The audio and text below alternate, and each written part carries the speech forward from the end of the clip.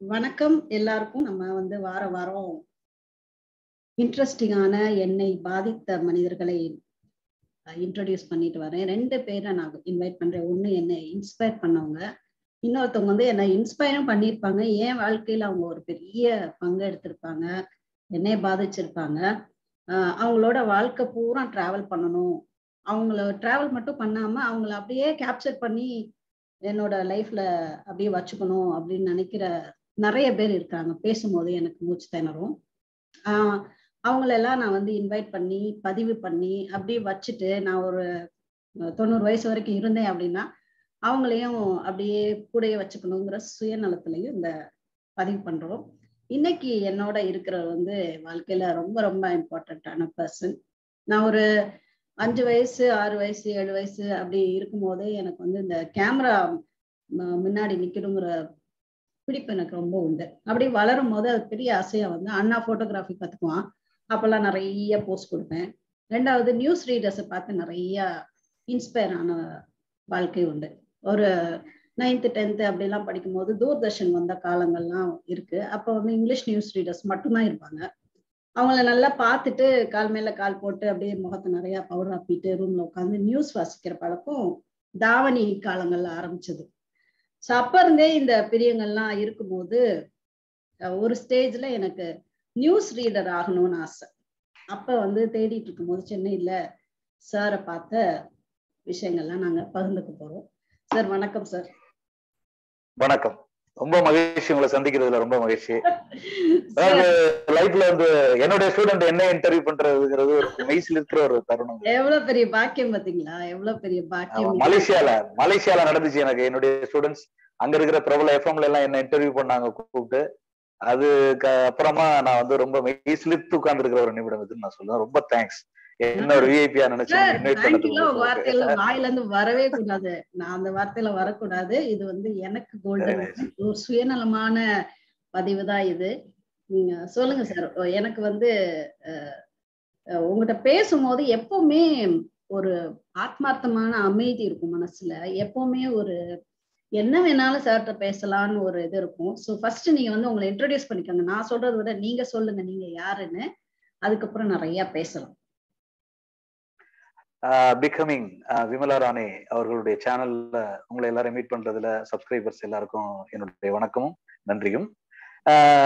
ஒரு சின்ன ஒரு ப்ரொஃபஷனல் அப்ரோச் இருக்கும் அப்படின்னு நான் நம்புறேன். என்னுடைய ப்ரெசன்டேஷன்ல அதுக்கு காரணம் ப்ரொஃபஷனலாவே ஒரு ப்ரெசன்டர் சன் டிவி செய்தி வாசிப்பாளர். அப்பார்ட் ஃப்ரம் தட் நான் வந்து ஒரு பிரபல பிரபல இல்ல பிரபலமாக போகிற துடித்து கொண்டிருக்கிற ஒரு திரைப்பட இயக்குனர். அவ்வளவுதான். கொஞ்சம் மியூசிக் தெரியும். கொஞ்சம் ஹவு டு கம்யூனிகேட் பீப்புள் அந்த எல்லாம் தெரியும் ஓரளவு. உலகத்துல கொஞ்சம் கொஞ்சம் விஷயங்கள் தெரிஞ்சு வச்சிருக்கேன். அதை வச்சு குப்பை கொட்டிக்கிட்டு இருக்கேன் லைஃப்ல அவ்வளவுதான். விமலா ராணி அவங்க வந்து the great one of the persons in my life and my professional life and my family ஆல்சோன்னு சொல்லலாம். அந்த அளவுக்கு she's a great lady among the world அப்படின்னு சொல்லலாம். ஒரு பெரிய கிஃப்ட் எனக்கு அவங்கெல்லாம் உறவா கிடைச்சது. இறைவனுக்கு நன்றி. சார்கிட்ட எப்பவுமே பேசும்போது அப்படியே சீக்கெல்லாம் எரியும். ஏன் தெரியுமா? அவரோட ப்ரொஃபஷனல் குரலை கேட்டாலே அப்படியே சொக்கிடலாம் சார் ஒரே ஒரு வாட்டி அந்த ஆரம்பத்தை பேசி காட்டுங்களேன் சார் எந்த ஆரம்பம் கேக்குறீங்க? செய்தியா? சன் டிவில பேசுவீங்களே. வணக்கம். தலைப்புச் செய்திகள். நாடாளுமன்றத்தில் நடைபெற்ற கேள்வி நேரத்தின் போது எதிர்கட்சிகள் வெளிநடப்பு விரிவான செய்திகள். நாடாளுமன்றத்தில் நடைபெற்ற கேள்வி நேரத்தின் போது எதிர்கட்சிகள் வெளிநடப்பு செய்ததால் இரு அவைகளிலும் அமளி நிலவியது. போதும் நினைக்கிறேன். அப்படியே ஃபுல்லா இருக்குது சார். நீங்க அப்படியே ஐயோ நிறுத்திடுவீங்களோ நிறுத்திடுவீங்களோ அப்படின்னு ஒரு பயம் வருது. ஒரு சாருக்கு சாருக்கு எதையாவது நியூஸ கொடுத்து கொஞ்ச நேரம் அஞ்சு நிமிஷம் வாசிக்க விடலாமா அப்படின்னு தோணுது. பட்டுன்னு மைண்ட்ல வந்ததை சொல்லிட்டேன் அப்படியே. ஏன்னா அதுதான் ரொம்ப ரெகுலரா நம்ம நாட்டுல பிரபலமா இருக்கிற ஒரு செய்தி அது. ஆமா. இந்த குரல் வளம் எப்படி சார் வந்தது உங்களுக்கு? உங்க ஊர் எது? நீங்க பிறந்தது? கொஞ்சம் ஃபேமிலி பேக்ரவுண்ட் இவ்வளவு தூரம் வந்திருக்கீங்களா அது கொஞ்சம் சொல்லுங்களேன் சார் அம்மா வந்து மூன்றாம் வகுப்பு நாலாம் வகுப்பு படிச்சிருப்பாங்கன்னு நினைக்கிறேன். அப்பா என்ன படிச்சிருக்காருன்னு இதுவரையுமே சொன்னதில்லை. ஏன்னா அவர் படிச்ச மாதிரி தெரியல. ஏதோ ரெண்டாவது மூணாவது படிச்சிருப்பாருன்னு நினைக்கிறேன். அப்பா ரயில்வே ஸ்டாஃப் ரிட்டையர்ட் ஆயிருக்காங்க. அம்மா அப்பா ரெண்டு பேருமே நல்லா இருக்காங்க. அப்பா இங்கேதான் இருக்காங்க என் கூட. அம்மா ஊர்ல இருக்காங்க. திருவாரூர். மாவட்டம் திருத்துறைப்பூண்டி தாலுக்கா அங்க வந்து அம்மலூர் அப்படின்னு ஒரு அழகான சின்ன கிராமத்துல நான் பிறந்து வளர்ந்தது படிச்சது முத்துப்பேட்டை இந்த மாதிரி பல இடங்கள். கல்லூரி வந்து அதிராமட்டம் காதிரி மொய்தீன் காலேஜ் காலேஜ் முடிச்ச உடனே அஹ் துரு துருன்னு இருக்கிற வயசுல சென்னை ஓடி வந்து பசி பட்டினி எல்லாம் சந்திச்சு சென்னை தொலைக்காட்சி நிலையத்துல அறிவிப்பாளரா செலக்ட் ஆகி அதுக்கப்புறம் ராஜ் டிவி போய் அங்க நிகழ்ச்சி தொகுப்பாளராகவும் செய்தி வாசிப்பாளராகவும் இருந்து அதுக்கப்புறம் சன் டிவி போய் செய்தி வாசிப்பாளரா தொடர்ந்து அப்புறம் பாடகரா பல படங்கள்ல எல்லாம் கோரஸ் எல்லாம் பாடி அப்புறம் இயக்குனரா பல பிரபல இயக்குனர்கள்ட்ட எல்லாம் உதவி இயக்குனரா ஒர்க் பண்ணிட்டு ரெண்டாயிரத்தி பதினொன்னுல வாடா போடா நண்பர்கள் படம் பண்ண ஒரு இயக்குனர் என்கிற முகவரியோடு அடுத்த படம் பண்றதுக்கு தயாராகிட்டு இருக்கிற மணிகை உங்க முன்னாடி இப்போதைக்கு. உங்களுக்கு எவ்வளவு பெரிய ஜாம்பவனோட நான் உட்கார்ந்திருக்கேன். அப்படி அசால்ட்டா பேசுறேன்னு. சார் வந்து ரொம்ப தன்னடக்கம் உள்ளவரு. ஆனா விஷயம் விஷயம் விஷயம் இஸ் அன் படிச்சவங்க எல்லாமே அப்படி மிரள்ற மாதிரி போய் அஞ்சு நிமிஷம் முன்னாடி உட்காந்தாலே போறோம் அப்படியே நனைஞ்சிட்டு வரலாம். இது நான் அடிக்கடி சொல்லுவேன். சார் போய் உட்காந்துட்டு அப்படி எந்திரிச்சு வந்தோம்னா அப்படியே எதுலயோ நனைஞ்சிட்டு வந்த மாதிரி ஒரு ஒரு ஒரு ஃபீலிங் அவ்வளவு இன்ஃபர்மேஷன் வச்சிருப்பாரு. அதுக்கு காரணம் வந்து நீங்க தான் அதுக்கு காரணம் நீங்க தான் உங்களை மாதிரி இருக்கிறவங்க தான் கண்ணாடி தான் நம்மளுடைய முழு உருவத்தையும் நிஜ உருவத்தையும் பளிச்சுன்னு காட்டும். ஒப்பனை இல்லாம. அது மாதிரி என் முன்னே இருக்கும் உங்களை மாதிரி உங்கள்கிட்ட எல்லாம் தான் நான் என்ன கண்டுபிடிச்சேன்? அப்போ உங்களை நான் கண்டுபிடிக்கிறேன். கண்டுபிடிக்கும் போது ரொம்ப வியப்பா இருக்கும். நான் எனக்கு குறைஞ்சவங்க எல்லாம் கிடையாது நீங்க எல்லாம் அதெல்லாம் என்னோட இன்னொரு காரணம். எனக்கு வந்து எல்லார்ட்டையும் பேச பிடிக்காது. சார்ட்ட என்ன வேணாலும் பேசலாம் அப்படின்னா எப்பவுமே கிரெடிட்டை கொடுத்துருவாரு. நம்மளுக்கு டமால் டமால் தூக்கி கொடுப்பாரு. இது எப்படி சார் நீங்க இப்படி இவ்வளவு திறமையும் இருக்கு தன்னடக்கமும் இருக்கு. இதுக்கு இதுக்கு இந்த மாதிரி பர்சனாலிட்டி ஆகிறதுக்கு பார்வையாளர்களுக்கு சொல்லுங்களேன் டிப்ஸ் சொல்லுங்க எளிமை வலிமை அப்படின்லாம் ஒரு விஷயம் கிடையாது. இயல்பு இயல்மை அப்படிங்கிற ஒரு விஷயம் தான் இயற்கையா இயல்பா இருக்கிறது தான் அது வந்து நம்ம வந்து எளிமையா இருந்தோம்னா நம்மளோட பெரியவர்களை பார்க்கும்போது வலிமையா தெரியும் அவ்வளவுதான். அல்லது நாம வலிமையா இருந்தோம்னா யதார்த்தமா இருக்கிறவங்களை பார்த்தா ரொம்ப எளிமையா இருக்காங்க அப்படின்னு தெரியும். பட் ரொம்ப எளிமை அப்படின்னு ஒரு விஷயமே கிடையாது. வலிமை அப்படின்னு ஒரு விஷயமும் கிடையாது. இயல்பு இயல்பு தன்மையில இருக்கிறவங்களை பார்க்கும்போது அது வாழ்க்கையில பெருசா ஜெயிச்சுட்டு வளர்ந்த பிறகு இயல்பா இருக்கிறவங்கள பார்க்கும்போது ரொம்ப பிரம்மாண்டமா தெரியும் சாதாரணமா ரோட்ல இருக்கிறவங்கள பார்க்கும்போது இப்ப சமீபத்துல எஸ். ஏ. சந்திரசேகர் வந்து அவருடைய அந்த வெளிநாட்டு கார்ல விஜயோட அப்பா பாண்டி பஜார்ல போயிட்டு நைட்டு பன்னெண்டரை மணிக்கு வந்து கீதா கஃபே இருக்கு இல்லையா பாண்டி பஜார்ல சென்னையில. அது வாசல்ல பாயை விரிச்சு போட்டு பிளாட்ஃபார்ம்ல படுத்து கிடந்தாரு. படுத்து கிடந்துட்டு அப்புறம் எழுந்திரிச்சு கார்ல வந்துட்டாரு. அப்படி சொல்லி நியூஸ் படிச்சு பார்த்தேன். காரணம் என்னன்னு கேட்டா அவருடைய வாழ்க்கை தொடங்கிய இடம் அதுதான். அதை நான் அடிக்கடி நினைவுபடுத்திக்கணும் அப்படின்னு சொல்லிட்டு அவர் வந்து படுத்து கிடந்தாருன்னு சொல்லிட்டு அது வந்து ஒரு பெரிய நியூஸா பாக்குறோம் பிரம்மாண்டமா பாக்குறோம் இப்ப ஒரு பெரிய சூப்பர் ஸ்டார் தமிழ்நாட்டுல விஜயோட அப்பா பிளாட்ஃபார்ம்ல இன்னைக்கு பாய் எடுத்து போட்டு டிக்கில பாயல் தலானில எடுத்துட்டு போய் போட்டு படுத்து கலந்துட்டு எழுந்திரிச்சு போறாரு ஒரு விஷயத்த பிரம்மாண்டமா பாக்குறோம் ஆனா பிளாட்ஃபார்ம்ல எத்தனை பேர் படுத்து எடுக்கிறாங்க இயல்பாவே. இல்லையா? அது வந்து அவங்க ஏன்னா இயல்பா இயல்பா அது அப்படி இயல்பாவே இருக்கிறது ஒண்ணு. பெரிய லெவல்ல போயிட்டு இயல்பா தன்னை வந்து உணர்றது அப்படிங்கிற ஒரு விஷயம் இருக்கு. அந்த வித்தியாசங்கள் தான் வந்து வேறுபடுத்தி காட்டுதுன்னு நினைக்கிறேன் வேற ஒண்ணுல பார்வை தான் அந்த பார்வை தான் வேறுபடுத்தி காட்டுறது. ஓ நீங்க உங்க ஜேர்னிய அப்படியே அப்படியே அசால்ட்டா ஒரு ஒரு ஹாஃப் சென்டென்ஸ்ல சொல்லி முடிச்சிட்டீங்க. பட் உங்களை மாதிரி உங்க இடத்துக்கு வரணும்னு நினைக்கிற எவ்வளவு பேர் இருக்காங்க. அப்ப நீங்க கோத்ரூ பண்ண ஜேர்னில உள்ள கஷ்டங்கள் அதையும் மீறி இவ்வளோ தூரத்துக்கு வந்திருக்கீங்க. நீங்க நீங்க படம் ஆரம்பிக்கும் போது அந்த ஃபங்க்ஷனுக்கு வந்துடணும் நாங்க. உள்ள அரிச்சிச்சு. என்னால அழுதேன் நானு. நான் நம்ம சார் வந்து எவ்வளவு தூரத்துக்கு ஹம்பிளான பேக்ரவுண்ட்ல இருந்துட்டு எவ்வளவு தூரத்துக்கு வந்து பாக்யராஜ் சாரை கூப்பிட்டுருந்தீங்க நீங்க? கூப்பிட்டு இனாகிரேஷன் பண்ணீங்க. வேற பெரிய பெரிய இம்பார்ட்டன்ட் பெரிய ஹால்ல நடந்தது. உங்க அக்காலாம் வந்து பேசும்போது ரொம்ப பெருமையாவும் அழுதுட்டும் பேசினாங்க. நாங்க நான் பின்னாடி நின்னுட்டு நானும் அழுதுட்டு நின்றுருந்தேன் எப்படி இப்படி ஒரு ஒரு மனிதன் வந்து இப்படி உயரலான்னு அந்த ஜேர்னிய கொஞ்சம் சொல்லுங்க சார் நான் வந்து சென்னை வரும்போது எதுவுமே இல்லை. ஒரு ஒரு பொட்டி ஒன்று எடுத்துக்கிட்டு ஒரு பழைய சைக்கிள். அந்த சைக்கிள் நான் எழுதின கவிதை கூட ஒரு பிரபல மேகசின்ல ஃபர்ஸ்ட் ப்ரைஸ் ஃபைவ் தௌசண்ட் ருபீஸ்லாம் வாங்கும்போது கூட அந்த மேகசின்ல இருந்து என்ன பேட்டி எடுக்க வந்திருந்தாங்க? எப்படி இப்படி ஒரு அற்புதமான கதை எழுதுனீங்கன்னு. இப்போ உங்களுக்கு என்ன தோணுது அப்படின்னு கேட்டப்போ இந்த ஃபைவ் தௌசண்ட் எப்போ கொடுப்பீங்க அப்படின்னு நான் கேட்டேன். அதெல்லாம் கூட அவங்க பெருசா பாக்ஸ் எல்லாம் கட்டி போட்டிருந்தாங்க. அந்த அளவுக்கு வறுமை. வறுமையில வந்து நான் சைக்கிள் சென்னையில ஓட்டும் போது ராம்போ ராஜ்குமார்னு ஒரு பெரிய ஃபைட் ஃபைட் மாஸ்டர் இருந்தாரு சினி இண்டஸ்ட்ரியில இஸ் நோ மோர் நவ் அவருடைய அவரு சொல்லுவாரு அவரு அவருடைய அசிஸ்டன்ஸ் எல்லாம் இருக்கும்போது சொல்லுவாரு மணிகை சார் நீங்க வந்து பெரிய கிரியேட்டர் நீங்க வந்து நிறைய வல்லமை உள்ள ஆளு. ஆனா நீங்க சைக்கிள் மிதிச்சுட்டு இப்போ கஷ்டப்படுறதெல்லாம் நாங்க பாக்குறோம். ஒவ்வொரு சைக்கிள்ல ஒவ்வொரு மிதிக்கும் ஒவ்வொரு வாழ்க்கையில ஒவ்வொரு ஸ்டெப் வாழ்க்கையில முன்னுக்கு வருவீங்க நீங்க. அதை நாங்க வந்து கண்ணால பார்ப்போம். அவங்க சொன்னதுங்கிறது வந்து இருக்கு. என் மைண்ட்ல இன்னும் இருக்கு. அது கஷ்டப்பட்டேன். இல்லைன்னு சொல்ல ரொம்ப கஷ்டப்பட்டேன். நேர்மையா கஷ்டப்பட்டதுனால கொஞ்சம் டிலே மற்றபடி வந்து அதை ரசிக்கிறோம். நம்ம கஷ்டம்னு ஒண்ணு ஒண்ணு கிடையவே கிடையாது. நம்ம வந்து பிறக்கும் போதே பான் வித் சில்வர் ஸ்பூன் மாதிரி ஒரு பெரிய ஒரு ஃபேமிலியில பிறந்திருந்தோம்னா நம்ம அதுல இருந்து ஸ்டார்ட் பண்ணலாம். நம்ம ஜீரோல இருந்து ஸ்டார்ட் பண்றோம். சில பேர் ஃபிஃப்டில இருந்து ஸ்டார்ட் பண்ணுவாங்க. சில பேர் ஹண்ட்ரட்ல இருந்து ஸ்டார்ட் பண்றவங்க இருக்காங்க. ஜீரோல இருந்து ஸ்டார்ட் பண்றதுங்கிறது வந்து ஃபிஃப்டில இருந்து ஸ்டார்ட் பண்றவங்க ஹண்ட்ரட்ல இருந்து ஸ்டார்ட் பண்றவங்களுக்கு அந்த அனுபவம் கிடைக்காது. கண்டிப்பா அவங்க எல்லாம் அன்லக்கி அந்த விஷயத்துல. ஸோ நம்ம ஜீரோல இருந்து ஸ்டார்ட் பண்ற நம்ம லக்கி பர்சன் நிறைய விஷயங்கள் பார்க்கலாம். நிறைய விஷயங்கள் உணரலாம். மிகப்பெரிய ஆட்கள்லாம் வந்து ரொம்ப சாதாரணமா ட்ரெயின்ல பஸ்ல எல்லாம் எங்க எம்டி மிஸ்டர் கலாநிதி மாறன் அவர் வந்து லயலா காலேஜ்ல படிக்கும்போது அவரு அவருடைய அண்ணன் தயாநிதி மாறன் தெரியும் எல்லாருக்கும். இவங்க ரெண்டு பேரும் வந்து பஸ்ல தான் போயிட்டு வந்தாங்க டெய்லி காலேஜ் காரணம் அவங்க அப்பா முரசொலி மாறன் சென்ட்ரல் மினிஸ்டரா இருக்கும்போது கூட நீங்க எல்லாம் கார்ல போக கூடாது பஸ்ல போயிட்டு வாங்கடா அப்படின்னு சொல்லி அனுப்புனாருன்னு நான் கேள்விப்பட்டிருக்கேன். அப்படின்னா கிரவுண்ட் ரியாலிட்டி தெரியும். மக்களுடைய உணர்வு தெரியும் இயல்பு தெரியும். சோ அதை போய் நம்ம கஷ்டம் நினைக்க கூடாது. சோ அது ஒரு பெரிய ஒரு வாய்ப்பு அப்படின்னு நான் நினைச்சேன். அந்த வாய்ப்பு தான் எனக்கு வந்து இனி எவ்வளவு தூரம் போனாலும் அங்க இருக்கிற மனிதர்களுடைய உணர்வு பிளாட்ஃபார்ம் லைஃபோட இருக்கிற அசைவுகள் எல்லாத்தையும் நம்ம வெளியில எடுத்துட்டு வந்து வெளியில பெருசா காட்டினோம்னா நம்மள கலைஞர் இது ஒரு கலைப்படைப்பு அப்படின்னு சொல்ல அந்த உலகம் தயாரா இருக்கு. அதுக்கு இது தயாராகிறதுக்கான ஒரு வாய்ப்பு ஒரு ட்ரைனிங் ஒரு பாத் ஒரு வே அப்படின்னு சொல்லி அதை நான் நினைச்சதுனால அதையும் சந்தோஷமா எடுத்துட்டு கிளம்பி வந்தேன். அவ்வளவுதான். இதுல அழுகுறதுக்கு பசி பட்டியெல்லாம் நினைச்சு வேதனை படுறதுக்கெல்லாம் ஒண்ணும் கிடையாது. இயல்பு அது. இங்க இங்க நீங்களும் நானும் சொல்ல வாழ்க்கையில ரொம்ப கஷ்டப்பட்டவங்க வந்து கடவுளுக்கு பக்கத்துல இருக்காங்க அப்படின்னு. கஷ்டம் தான் நம்மள வந்து இந்த இந்த அளவுக்கு பேச வைக்கும் இந்த அளவுக்கு ஆத்தென்டிக்கா இருக்க வைக்கும்னு நீங்க சொன்னது ரொம்ப ரொம்ப கரெக்ட் இன்னொன்னு நான் மறக்கிறதுக்கு முன்னாடி உங்க பேரோட ரகசியம் சொல்லுங்க சார் சார் பேரு மணிகை. ஆமா என் பேர் இயல்பான பேர் வீட்டுல எல்லாரும் வச்சது செந்தில்குமார். நான் காமெடியா சொல்றது உண்டு. செந்தில்குமார்னு பேர் வச்சு வாழ்ந்த காலம் வரை செம்ம அடி வாங்குவேன் வீட்டுல ஸ்கூல்ல. ப்ரொஃபசர்ஸ்ட மட்டும்தான் காலேஜ்ல அடி வாங்கலாம் மற்றபடி ஸ்கூல்ல எல்லாம் செம்ம அடி வாங்குவேன். விளையாட்டா ஒரு இடத்துல மணிகைன்னு மாத்தினேன். அது காரணம் வந்து அம்மா அப்பா பைத்தியம் தான். அம்மா அப்பானா ரொம்ப பிடிக்கும். கடவுள் மாதிரி நினைப்பேன். சோ மணிமேகலை அம்மா பேரு. அதுல இருந்து மணி எடுத்துக்கிட்டு கைலாசம் அப்பா பேரு. அதுல இருந்து கை எடுத்து மணிகை அப்படின்னு கம்போஸ் பண்ணி நானே வச்சு அதுக்கப்புறம் எனக்கு கொஞ்சம் ஏதோ கொஞ்சம் பிரைட்டா தெரிஞ்ச மாதிரி இருந்துச்சு ஒரு விஷயங்களும். சில சில வெற்றிகள்லாம் அப்படி ருசிக்கிற மாதிரி ஒரு சூழ்நிலை வந்துச்சு. ஒருவேளை சென்டிமெண்டாவும் இருக்கலாம் இது அப்படிங்கிற மாதிரி. அப்ப நினைச்ச அனுபவத்துல இப்ப அதுவே மணிகைன்னு மாறி போச்சு. கெசட்லயே மாத்திட்டேன்.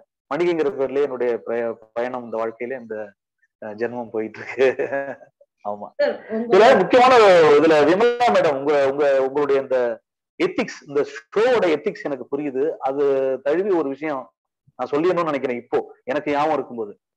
என்னன்னா இப்ப நம்ம இந்த வளர்ந்து வர்றோம் நம்ம கஷ்டப்பட்டு வர்றோம் அடித்தளத்துல இருந்து வர்றோம் பிளாட்ஃபார்ம்ல இருந்து வர்றோம் அப்படின்னு சொல்லும்போது நாம ரியலைஸ் பண்றோம் அதையும் தாண்டி நிறைய விஷயங்களை ரசிக்கிறோம் ஃபீல் பண்றோம் அதையெல்லாம் தாண்டி ஒரு பாடம் ஒண்ணு நமக்குள்ள ஒண்ணு ஸ்டோர் ஆயிட்டே இருக்கும் ஒரு லெசன் அந்த லெசனை வந்து நம்ம முக்கியமான இடங்கள்ல அப்ளை பண்ணிடணும் லைஃப்ல என்ன தெரியும் எந்த இடம் தெரியுமா?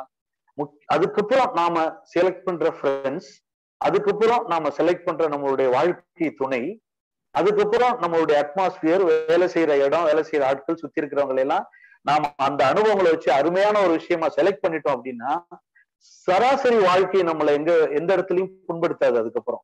ரொம்ப கம்ஃபர்டபுளா இருக்கும். அதுக்கப்புறம் நாம் எடுத்து வைக்கிற ஒவ்வொரு அடியும் வெற்றியும் வரலாறுமா மாறும். அப்படிங்கறதுதான் எனக்கு கத்து கொடுத்தது. அதே மாதிரிதான் என்னுடைய நண்பர்கள் வட்டமும் சரி இன்க்ளூடிங் விமலராணி மாதிரி நண்பர்களா இருந்தாலும் சரி என்னுடைய மாணவர்களா இருந்தாலும் சரி என்னுடைய நான் என்னுடைய வேலையை என்னுடைய வேலை நேரத்தை என்னுடைய வருமானத்தை என்னுடைய வாழ்க்கையை என்னுடைய எதிர்காலத்தை என்னுடைய ஆசையை கனவை கொண்டாட்டிய பிள்ளைய எல்லாத்தையும் நானே நிர்ணயிச்சுக்கிற ஒரு அற்புதமான ஒரு தருணத்தை ஒரு வாய்ப்பை இயற்கையும் இறைவனும் எனக்கு வழங்கி இருக்கிறார்கள் அதுக்கு காரணம் இயல்பா எனக்கு கிடைச்ச அனுபவமும் அறிவும் அப்படிங்கறத நான் ரொம்ப நம்புறேன். அது ரொம்ப முக்கியம். ஒவ்வொருத்தரும் செய்ய வேண்டிய விஷயம். உங்களுடைய இந்த ஷோவோட எத்திக்ஸோட லிங்க் ஆகும் நினைக்கிறேன் அந்த மேட்டர் சொல்லணும் எனக்கு இப்ப தோணுச்சு. இல்லைன்னா மிஸ் கட்டாயம். இன்னொரு முக்கியமான விஷயம் உங்ககிட்ட கேட்கணும்னு நினைக்கிறேன் சார். நிறைய பேர் பணத்தை தேடி ஓடிட்டே இருக்கிற டைம்ல நீங்க கனவை தேடி ஓடிக்கிட்டே இருப்பீங்க. எல்லாரும் பணம் பணம் ஓடி கனவை தொலைச்சிருவாங்க. நீங்க கனவு கனவுன்னு ஓடிட்டே இருப்பீங்க. அத பத்தி சொல்லுங்க சார். ரொம்ப ஆச்சரியமா கனவு பணமா? இந்த துறையில கனவு தான் பணமா மாறும். நானும் பணத்தை தொட்டி தேடித்தான் ஓடுறேன். நான் ஓடுறது காட்டுக்கு தான் ஆனா குதிரையில போறேன். நான் ஓடுறது கடலுக்கு தான் ஆனா நான் போட்ல போறேன். போட்டு ரோட்ல போகுமா? அப்படி எல்லாம் கேட்க கூடாது போட்டை ஒரு லாரி மேல எடுத்து வச்சு லாரிக்கு வாடகை கொடுத்துட்டு போட்டை எடுத்துட்டு போட்டு மேல உட்காந்து நான் போறேன். அங்க போன லாரியை கழட்டி விட்டு போட்டை எடுத்து உள்ள போய் டிராவல் ஜேர்னி பண்ணிக்க வேண்டியதுதான். கனவு நனவாகிறது நனவு பணமாகிறது இந்த வாழ்க்கையில இருக்கு. கண்டிப்பா பணமும் தேவைதான். பணம் இல்லைன்னா யாருமே மதிக்க மாட்டாங்க. அப்புறம் என்ன சம்பாதிச்ச? அப்புறம் என்னத்த கிழிச்ச? அப்படின்னு முடிச்சிருவாங்க. ஸோ அதனால பணம் ஒரு அவசியம் தான் ஆனா அந்த பணமே பிரச்சனையா மாதிரி நம்மள எல்லாரும் சொல்ற தத்துவம் தான் இது. நம்மளை போட்டு டார்ச்சர் பண்ணி இப்ப பணம் நிறைய வச்சிருந்தாரு வீரப்பணம். ஒரு கோடிக்கணக்கான பணம் வீரப்பணம் வச்சிருந்தாரு. அவரு குழிகளை போட்டு பதிச்சு வச்சுட்டு அவர் போயிட்டாரு. பணம் நிறைய போச்சு. அந்த மாதிரி அர்த்தம் இல்லாத ஒரு வாழ்க்கையும் பணம் எதுவுமே ஆகக்கூடாது. பணம்ங்கிறது அர்த்தமுள்ளதா மாறணும். பணம் தப்பு கிடையாது. அது அதுக்கு அர்த்தம் இருக்கணும். அந்த அர்த்தம் உள்ள பணத்தை சம்பாதிக்கிறதுக்கான பயணமும் அர்த்தமுள்ளதா இருந்துச்சுன்னா நிம்மதியா இருக்கலாம். வாழ்க்கையில தூங்கும் போது நிம்மதியா இருக்கலாம். சார் வந்து நான் வந்து பக்கத்துல இருந்து நான் கிளாஸ் போய் நியூஸ் கத்துக்கிறதுக்கு போன வந்து அனுபவங்களை வாழ்க்கையில என்னால மறக்க முடியாத தருணங்கள். அது அதோட இதை என்னால சார் மாதிரி எக்ஸ்பிரஸ் பண்ண முடியலைனாலும் அந்த அந்த அதோட வெளிப்பாடு தான் நான் இப்போ உட்காந்து உங்கள்கிட்ட பேசுறது. தைரியமா உட்காந்து கேமரா முன்னாடி இது பண்றதெல்லாம் சாரோட ட்ரைனிங் தான். ஒரு சின்ன விதையா எனக்கு ஓப்ரா வின்ஃப்ரே பாக்குறது இல்ல அந்த காலத்துல நியூஸ் ரீடர்ஸை பார்த்து இமிட்டேட் பண்ணது ஒரு நினைவா மாறும் அப்படின்னா சார் தான். நான் கேட்டப்போ இங்க நியூஸ் சொல்லி கொடுக்குறவங்க யாரு அப்படின்னு ஸ்டூடெண்ட்ஸ்கிட்ட பார்க்கும்போது நான் வந்து நியூஸ் பஸ் வாசிக்கிறேன் மெகா டிவியில நியூஸ் வாசிக்கிறேன் அப்படின்னு என்னோட ஸ்டூடெண்ட் வந்து நான் சதர்லாண்ட்ல வேலை பார்க்கும்போது சொன்னாரு. நீ ஆர்ட்டை கத்துக்கிற அப்படின்னு கேட்கும்போது சாரை பத்தி சொன்னாரு. அப்ப நான் சென்னையில இருந்தேன். ஒரு மோசமான வாழ்க்கையில ஒரு மோசமான கட்டத்துல நான் இருந்த சமயத்துல சாரை பார்த்து நான் மீட் பண்ணி சார் எனக்கு தமிழ் நியூஸ் வந்து கத்துக்கிறது கொஞ்சம் கஷ்டம். ஆங்கில நியூஸ் வாசிக்கணும் ரொம்ப ஆர்வம் இருக்கு. நீங்க சொல்லி தரீங்களா அப்படிங்கும்போது சார் சொன்ன வார்த்தை வந்து தமிழ் நியூஸா தமிழ் நியூஸா இருந்தாலும் சரி இங்கிலீஷ் நியூஸா இருந்தாலும் சரி நியூஸ் நியூஸ் தான். நீங்க நியூஸ் எப்படி படிக்கணும்னு கத்துக்கோங்க அதை போய் நீங்க அப்ளை பண்ணிக்கோங்க அப்படின்னு சொல்லி கொடுத்து ஆரம்பிச்சாரு. கிளாஸ் போனா செம்ம ஜாலியா இருக்கும். அந்த ஒன் ஹவர் எப்படி போகுமே தெரியாது. நான் சொன்னேன் இல்லையா வாழ்க்கையில ஒரு மோசமான தருணத்துல இருக்கும்போது இந்த கிளாஸ் ரொம்ப ரிஃப்ரெஷிங்கா இருக்கும். அந்த சமயத்துல நான் கத்துக்கிட்ட விஷயத்த இன்ன வரைக்கும் நான் மறக்கல. சார் என்னைய நியூஸ் மட்டும் சொல்லி கொடுக்கல. வாய்ப்புகளையும் கொடுத்தாரு. அப்பதான் எனக்கு வந்து ராஜி ராஜ் டிவி அறிமுகம் வந்தது. அங்க வந்து இங்கிலீஷ் நியூஸ் ரீடருக்கு ஹைதராபாத் தெலுங்கானாக்கு மீன் அப்ப ஆந்திர பிரதேஷா இருந்த சமயத்துல இங்கிலீஷ் நியூஸ் படிக்கிறதுக்கான வாய்ப்பு சார் தான் கிரியேட் பண்ணி கொடுத்தாரு. நிஜந்தன் சாரை போய் பாருங்க. அவர்கிட்ட கேளுங்கன்னு சொல்லிட்டு இப்போ எட்டு ஒரு எட்டாப்பு படிக்கும் போது ஒன்பதாப்பு படிக்கும் போது உள்ள கனவை நான் ஒரு முப்பத்தி ரெண்டு வயசுல வந்து சார் மூலமா தான் அடைஞ்சேன். அது என் என் லைஃப்ல பெரிய லேண்ட்மார்க் எல்லா செஷன்லயும் சொல்ற பெரிய ஸ்டோரி அது. இந்த மாதிரி குறிக்கிறதுக்கு மன்னிக்கணும். இது குறிக்கிறதுக்கு மன்னிக்கணும். பொதுவா மதுரையில பிறந்தவர்களுக்கு வந்து வராது தமிழை பொறுத்த வரைக்கும்? ஒரு ஒரு மதுரை தமிழ் பெண்மணி அகில உலகமே பார்த்து பாராட்டுற அளவுக்கு ஒரு ஆங்கில செய்தி வாசிப்பாளரா வந்து ராஜ் டிவி நெட்ஒர்க்ல வந்து விமலா ராணி மேடம் மாதிரி செய்தி வாசிப்பாளர்களை வந்து அவங்க நான் உருவாக்குனேன்னு சொல்றாங்க. அது ரொம்ப பெருமையா இருக்கு. உங்களை பாக்குறதும் எனக்கு சந்தோஷம் தான் என்ன நான் பார்த்த சந்தோஷத்தை விட உங்களை நான் பாக்குற சந்தோஷம். ரொம்ப அதிகம். ஒரு மதுரையில நிஜந்தன் சார்கிட்ட போய் பாருன்னு சொன்னது யாரு? சேனல்ல உட்காந்து நியூஸ் பா அதெல்லாம் ஒரு கனவு. நானா என் ரூம்குள்ள உட்காந்து ஒரு பவுடர் எல்லாம் பூசிட்டு கால் மேல கால் போட்டு ஒரு நியூஸ் பேப்பர் எடுத்து நானா ரீட் பண்ண காலம் போய் அத்தனை லைட் நம்ம முன்னாடி உட்காந்து அத்தனை பேரை மேம் ஸ்டார்ட் அப்படின்னு சொல்றதெல்லாம் எப்பா உள்ள இருக்குது நினைச்சாலே. அதெல்லாம் வந்து ஈஸி கிடையாது. அதுவும் நான் இருந்த தருணத்துல நீங்க எனக்கு வழிகாட்டி நான் என்னை கொண்டு போய் அந்த சேர்ல உட்கார வச்ச நியூஸ் அந்த அந்த நேரங்கள்ல சுத அதாவது உங்க சுய வாழ்க்கையில நிறைய வழிகளோட இருந்த காலம் அது எனக்கு நல்லா அது வந்து நீங்க வந்து பேசினது என்னைய வழி அனுப்புனது மறக்கவே முடியாது. இன்ன வரைக்கும் அந்த மரியாதையோ அந்த அன்போ சர்ட் வந்து குறையவே இல்லை. நடுவுல பேசலைனாலும் டபால்னு எப்பனாலும் கூப்பிட்டு வச்சு என்ன சப்ஜெக்ட்னாலும் பேசலாம். இப்படி நீங்க மாணவர்களை இப்படி நீங்க ட்ரீட் பண்றதுக்கு காரணம் என்ன சார் எல்லாரையும் உருவாக்குறீங்க. எல்லாரோட கனவுக்கும் அப்படியே விங்ஸ் கொடுத்து ஃபயர் கொடுத்து அப்படியே தூக்கி விடுவீங்கல்ல? எல்லாருமே அந்த கிளாஸ் போனீங்கன்னா எல்லாருமே பார்க்கலாம். காம்பேரிங் பண்றவங்க ப்ராக்டிஸ் பண்ணிட்டு இருப்பாங்க. நியூஸ் வாசிக்கிறவங்க ப்ராக்டிஸ் பண்ணிட்டு இருப்பாங்க. எல்லாமே கனவு. ஒரு மனுஷங்களா நம்ம பார்க்க முடியாது. கனவு கனவா நிக்குவாங்க எப்படி சார் ப்ரிப்பேர் பண்றீங்க அப்படின்னு?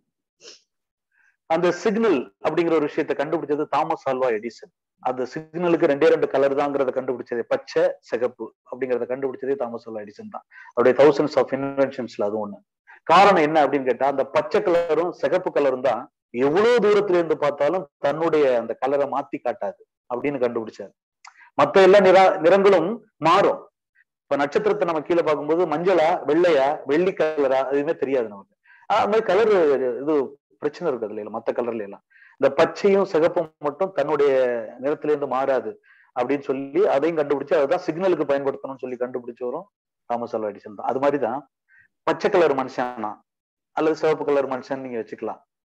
எனக்கு மட்டும் வயசே ஆகல. ஏன் அப்படின்னு கேட்டா ரெண்டாயிரத்தி நாலுல நம்ம இன்ஸ்டியூட் ஸ்டார்ட் பண்ணும்போது பதினெட்டு வயசுல இருந்து முப்பது வயசு வரையும் உள்ள மக்கள் ஒரு பத்து பேர் முன்னாடி உட்கார்ந்துருந்தாங்கல்ல அதுல அதுக்கப்புறம் நீங்களும் வந்தீங்க இல்லையா?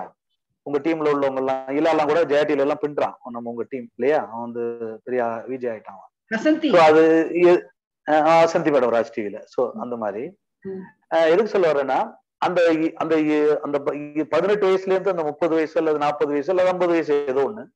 இந்த கூட்டம் வந்து இன்னைக்கு வரைக்கும் அந்த பதினெட்டு வயசு பசங்க அந்த காலேஜ் பசங்க இன்னைக்கு வரைக்கும் என்ன சுத்தி இருக்காங்க?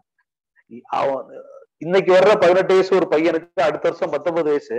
ஆனா எனக்கு அடுத்த வருஷம் ஒரு பதினெட்டு வயசு பையன் முன்னாடி வந்து உட்காருக்கு போது எனக்கு அடுத்த வருஷம் பதினெட்டு வயசு தான். அதனால எனக்கு மட்டும் வயசே ஆகுற மாதிரி நான் அதை நம்புறதே இல்ல. வராது. உங்ககிட்ட வரும்போது நான்லாம் கிளவியாய் தான் வந்தேன் நான் உங்ககிட்ட. நான் வரும்போது வரும்போது முப்பத்தி ஏழு வயசு சார். நான் உங்ககிட்ட வரும்போது இல்ல இல்ல. நீங்க வரும்போது நீங்க வரும்போது நீங்க வரும்போது அழகா இருந்தீங்க. இப்ப ரொம்ப ரொம்ப அழகா இருக்கீங்க. ஏன்னா நம்ம ரொம்ப வருஷமா வச்சுக்கிறேன் பார்த்து. ஆனா எனக்கு உங்களுக்கு சிங்க் ஆகிறதுக்கு காரணம் என்னன்னா ரெண்டு பேரோட வேவ் லென்த் தாட் எல்லாம் ஒரே மாதிரி இருக்கும். நம்ம எங்க இருக்கோங்கிற இருட்டுக்குள் இருந்தாலும் வெளிச்சமா இருப்போம் நம்ம எல்லாம் அப்படிங்கிற மாதிரி சொல்லலாம். பொய்டிக்கா சொன்னா அப்படிதான் சொல்லலாம் நான் வீட்டுக்குள்ள இருக்கவங்க நான் வெளிச்சமா இருக்கும். எஸ்பிபி பாடும்போது குஷ்பு இன்டர்வியூ எடுத்திருப்பாங்க. அவர் பாடும்போது ஐயோ சார் எப்படி பாடுறீங்க அப்படிங்கிறாங்களா? அதே மாதிரி உங்ககிட்ட பேசும்போது ஐயோ சார் எப்படி சார் இப்படி பேசுறீங்க? அப்படின்னு வரும். இன்னொரு முக்கியமான உம் சொல்லுங்க சொல்லுங்க சொல்லுங்க. சொல்லுங்க இல்ல ஏ ஏ இது வந்து ஒரு அற்புதமான வாழ்க்கை. இது இது வந்து இது ஒரு தொழிலோ அல்லது வேற ஒன்னும் அப்படி நான் நினைக்கிறது கிடையாது. கிளாஸ்ல வந்து உட்கார்ந்தா ஒரு அது மாதிரி மாணவர்களுக்கு தகுந்த மாதிரி பேசணும். வீட்டுக்கு போயிட்டா ஒய்ஃபுக்கு தகுந்த மாதிரி பேசணும். அப்படிலாம் கிடையாது. நான் என் வீட்டுல கூட ஏதாவது டிஃப்ரெண்டா இது நல்லா இருக்கே அப்படின்னு என் ஒய்ஃப் சொல்லுவா. அந்த மாதிரி விஷயங்கள். அது அப்படியே ஆகிப்போச்சு. என்னன்னா மனித உணர்வுகளும் மனிதமும் இந்த கட்டமைப்புகளை சொசைட்டி கட்டமைப்பு. இதுதான் நமக்கு தொழில் கருவியே. மனித உணர்வுகள் இந்த பல்ஸ் தான். இப்படி பிடிச்சு பார்த்தா டாக்டர் இப்படி பிடிச்சு பார்த்தா நீங்களும் நானும் கலைஞர்கள் வேற ஒண்ணும் கிடையாது. சோ கலையும் கலையும் சார்ந்தது. அதுல இசை வந்துடும் எல்லாமே வந்து வலி வந்துடும் சுகம் வந்துடும் எல்லாமே வந்துடும் இதெல்லாம் இதை ரசிக்க பழகணும் அப்படின்னா மத்தவங்களுக்கு இருக்கிறத ரசிக்க பழகுற மாதிரி நமக்கும் இருக்கு நம்மளும் ரசிக்க பழகணும் அப்படின்னா. உண்மையை சொல்றேன் எனக்கு இப்ப எப்படா என் பர்த்டே கொண்டாட மாட்டேன் எனக்கு தெரியாது. என் பர்த்டே யாராவது விஷ் பண்ணும்போது தான் எனக்கு பர்த்டே இன்னைக்கு அப்படிங்கிறது தோணும். ஆனா இப்ப உண்மையிலேயே எனக்கு அடுத்த பர்த்டே எப்போ வரும்னு ஆசையா இருக்கு. ஏன்னா அந்த திருவிழா அன்னைக்கு சுத்தம் பண்ணலான் இருக்கேன். போய் ஒரு அனாதை இல்லத்துல அனாதை இல்லத்துல போய் ஒரு பத்து குழந்தைங்களுக்கு நான் பெரிய பருப்பு அப்படி சொல்லி சோறு வாங்கி போட்டு அவங்களெல்லாம் ஏங்க விடுறதுல எனக்கு உடன்பாடு கிடையாது. குப்பையை கிடக்குற தெருவை நானே வழக்கமாக எடுத்து போட்டு கூட்டி சுத்தம் பண்ணி பர்த்டே எப்படியும் கொண்டாடலாம் அப்படின்னு காட்டலான் இருக்கேன். அது சொல்லும் போது நாங்களும் வர்றவங்க ஒரு பத்து பேர் கூட வர்றாங்க. இது எவ்வளவு பெரிய ஒரு விஷயம்? அந்த ஒவ்வொரு விஷயங்களையும் ரசிக்கணும் அப்படின்னு நான் நினைக்கிறேன். இதைத்தான் ராமகிருஷ்ண பரமஹம்சர் பண்ணாரு. இதைத்தான் விவேகானந்தர் பண்ணாரு. அப்படிங்கிறது எனக்கு இப்ப தெரியுது. அதே மாதிரி நம்மளும் யோசிக்கிறோம் அப்படிங்கிறது கூட ஒரு பெருமையா இருக்கு. ஒரு சந்தோஷமா இருக்கு. அந்த யாரு யார் வந்தாலும் ஃபேமிலி மெம்பர் இன்ட்ரடியூஸ் பண்ணிடுவீங்க நாங்க ஒன்னா உட்காந்து சாப்பிடலாம். சாரோட ஒய்ஃப் பேர் கவிதா. எல்லாருமே குடும்பமா மாத்தி அப்படியே உட்காந்து கும்மாளம் அடிக்கிற மாதிரி உட்காந்து ஃபேமிலியா இருப்போம். அந்த பந்தாவே இல்லாம சார் நான் வாத்தியாரு எனக்கு இவ்வளவு தெரியும். நீ ஸ்டூடெண்ட் அப்படிங்கிறது அந்த இதே இல்லாம ஒரு வாத்தியாரு ஒரு பெரிய கலையை நம்மள ஒரு ப்ராடக்டா மாத்தி அனுப்புறவரு எப்படி வந்தா காட்டலாம்? அப்படி பண்ணாம எப்படி சார் அந்த அந்த இன்செக்யூரிட்டி இல்ல இல்ல உங்களுக்கு? அத பத்தி பேசுங்க சார். அந்த இன்செக்யூரிட்டியே இருக்கு எனக்கு எனக்கு வந்து ஒரு அடையாளம் கண்டுபிடிச்சிருவேன். எனக்கு வந்து இப்ப உங்களை கடை உங்களை உங்களை உங்களுடைய அடையாளம் எனக்கு அன்னைக்கே தெரிஞ்சிச்சு. நாம வாழ்க்கையில இவ்வளவு தூரம் பயணம் பண்ண போறோம். இன்னும் நாம வாழ்க்கை முழுக்க பார்க்காம ஒருத்தர் ஒருத்தர் நம்ம நீங்க எங்கேயோ ஹைதராபாத்ல இருக்கீங்க. நான் சென்னையில இருக்கேன். இல்ல உலகத்துல எந்த மூலையில இருந்தாலும் இந்த டெக்னாலஜி நம்மள இன்னைக்கு கைகுலுக்க வச்சிருக்கு. பல வருஷம் நீங்களும் பேசினது கிடையாது. உங்களையும் நான் பேச உங்கள்ட்டையும் பேசின கிடையாது திடீர்னு ஃபோன் பண்ணி ஒரு உரிமையோட சண்டை போடுவீங்க. நீங்க எனக்கு டீச்சர் மாதிரி நான் ஸ்டூடெண்ட் மாதிரி எல்லாம் கூட பல நாள் பேசியிருக்கேன். திடீர்னு புகழ்வீங்க திடீர்னு இது பண்ணீங்க. அது நீங்க ஒரு வித்தியாசமான கேரக்டர் அது மாதிரி நம்ம சேது. இது மாதிரி எனக்கு அடையாளம் கண்டுபிடிக்க முடியும். மனிதர்கள் அடையாளம் கண்டுபிடிக்க முடியும். இன்னும் சொல்ல போனா திருடு திருடு அதாவது தொழில் ரீதியா திருடுறவங்க எல்லாம் கூட இந்த மாதிரி இன்ஸ்டியூட்டுக்கு எல்லாம் வருவாங்க சில நேரம் வந்து. இன்ஸ்டியூட்ல அட்மிஷன் போட்டு உள்ள வந்து அவங்க ஸ்டூடெண்ட் மாதிரி டிராவல் ஆகி ஒரு லிமிட்டுக்கு மேல டக்குன்னு அவங்க புத்தியை காட்டிட்டு போயிடுவாங்க. அதெல்லாம் நடந்திருக்கு. என்னுடைய இன்ஸ்டிடியூஷன்ல நடந்திருக்கு. ஒண்ணு ஏன் படிக்கிற ஸ்டூடெண்ட்ஸ் கிட்டே ஒரு அமௌண்ட்டை வாங்குறது பொய் சொல்றது அப்புறம் அப்ஸ்காண்ட் ஆயிடுறது இந்த மாதிரிலாம் நடந்திருக்கு. பட் என்கிட்ட அது பண்ண முடியல அவங்களால. ஏன்னு தெரியல. ஒரு பொண்ணு கூட வந்து படிச்சா என்கிட்ட ஆனா ரொம்ப அவ- அவளுடைய அந்த திருட்டுத்தனமான அந்த அந்த புத்தியே மாறி போய் அவ வந்து ஒரு லிமிட்டுக்கு மேல என்கிட்ட அவ எதுவுமே பண்ண முடியாம ஓடி போயிட்டா அதுக்கப்புறம் நான் பேப்பர்ல பார்க்கலாம் அவ அரெஸ்டட் அப்படின்னு சொல்லிட்டு. அவ வந்து இது மாதிரி ஒவ்வொரு இடத்துல போய் திருடுறா அந்த இதெல்லாம் பண்றா. இது நான் என்ன யோசிக்கிறது காரணம் என்னன்னா வலிமையான என்னுடைய நம்பிக்கையும் அன்பும்னு நான் நம்புறேன். உங்க மேல நான் உங்களை அப்படியே நான் சும்மா அப்படி தண்ணி ஒரு டம்ளர் எடுத்து ஊத்துறது கிடையாது. ஒரு அருவியில நிக்க வச்சுறது இல்லைன்னா கடல்ல பிடிச்சி தள்ளிடுறது. என்னுடைய அன்பை நீங்க ஜெயிக்க கூடாதுங்கிற பொறாமை எனக்கு எப்பவும் உண்டு. அந்த பொறாமையில தான் அவங்க எல்லாம் வந்து ஒருவேளை தோ தோத்து போறாங்களோன்னு எனக்கு தோணும். எனக்கு வந்து அன்புல தோத்து போறது ரொம்ப பிடிக்கும். அன்பு உண்மை சுடும். அன்பு ஒண்ணு இன்னொன்னு உண்மை சுடும். ரொம்ப நான் கிட்டத்தட்ட சொல்லிட்டேன்னு நினைக்கிறேன். கம்ப்ளீட்டா சொல்லல உங்களுக்கான பதிலு. கிட்டத்தட்ட சொல்லியிருக்கேன். எனக்கு கம்ப்ளீட்டா சொன்னா என்னை பத்தி நான் பெருமையா ரொம்ப பேசுற மாதிரி அசிங்கமா எனக்கு தோணும். அதனால. கிட்டத்தட்ட சொல்லியிருக்கேன் சார் நீங்க வந்து அந்த சினிமா ஜேர்னியை சொல்லுங்க சார் எனக்கு ரொம்ப டைம் போறதுக்கு முன்னாடி எனக்கு சினிமாவை பத்தி பேசணும். உங்களோட உங்களோட குரல்ல பாட்டு கேட்கணும். அடுத்தது வந்து இன்னும் சில விஷயங்கள்லாம் பேசணும். உங்க சினிமா ஜேர்னி பத்தி சொல்லுங்க சார் அந்த வாடா படம் பத்தி சொல்லுங்க சார் வாடாபட நண்பர்கள் வந்து நான் இயக்குனர் அண்ணன் சீமான் அவர்கள்ட்ட நான் தம்பி படம் கூட இருந்தேன். அதுக்கப்புறம் வெளியில வந்து எப்ப நமக்கு கதை தோணுதோ அப்ப நம்ம படம் பண்ணுவோம். அதை பத்தி கவலைப்பட வேண்டாம். நமக்கு சக சமகால வாழ்க்கை பிரச்சனை எல்லாம் ஓடிட்டு இருக்கு. சன் டிவிங்கிற ஆலமரத்துக்கு கீழே ரொம்ப சொகுசா நிழல்ல இருக்கிறதுனால ஓடி ஓடி இருந்தேன். ஒரு நாள் திடீர்னு நியூஸ் படிக்கிறதுக்காக தான் போயிட்டு இருக்கும்போது பைக்ல தான் போகும்போது பாண்டி பஜார்ல ஒரு சின்ன ஒரு சம்பவம் பார்த்தேன்.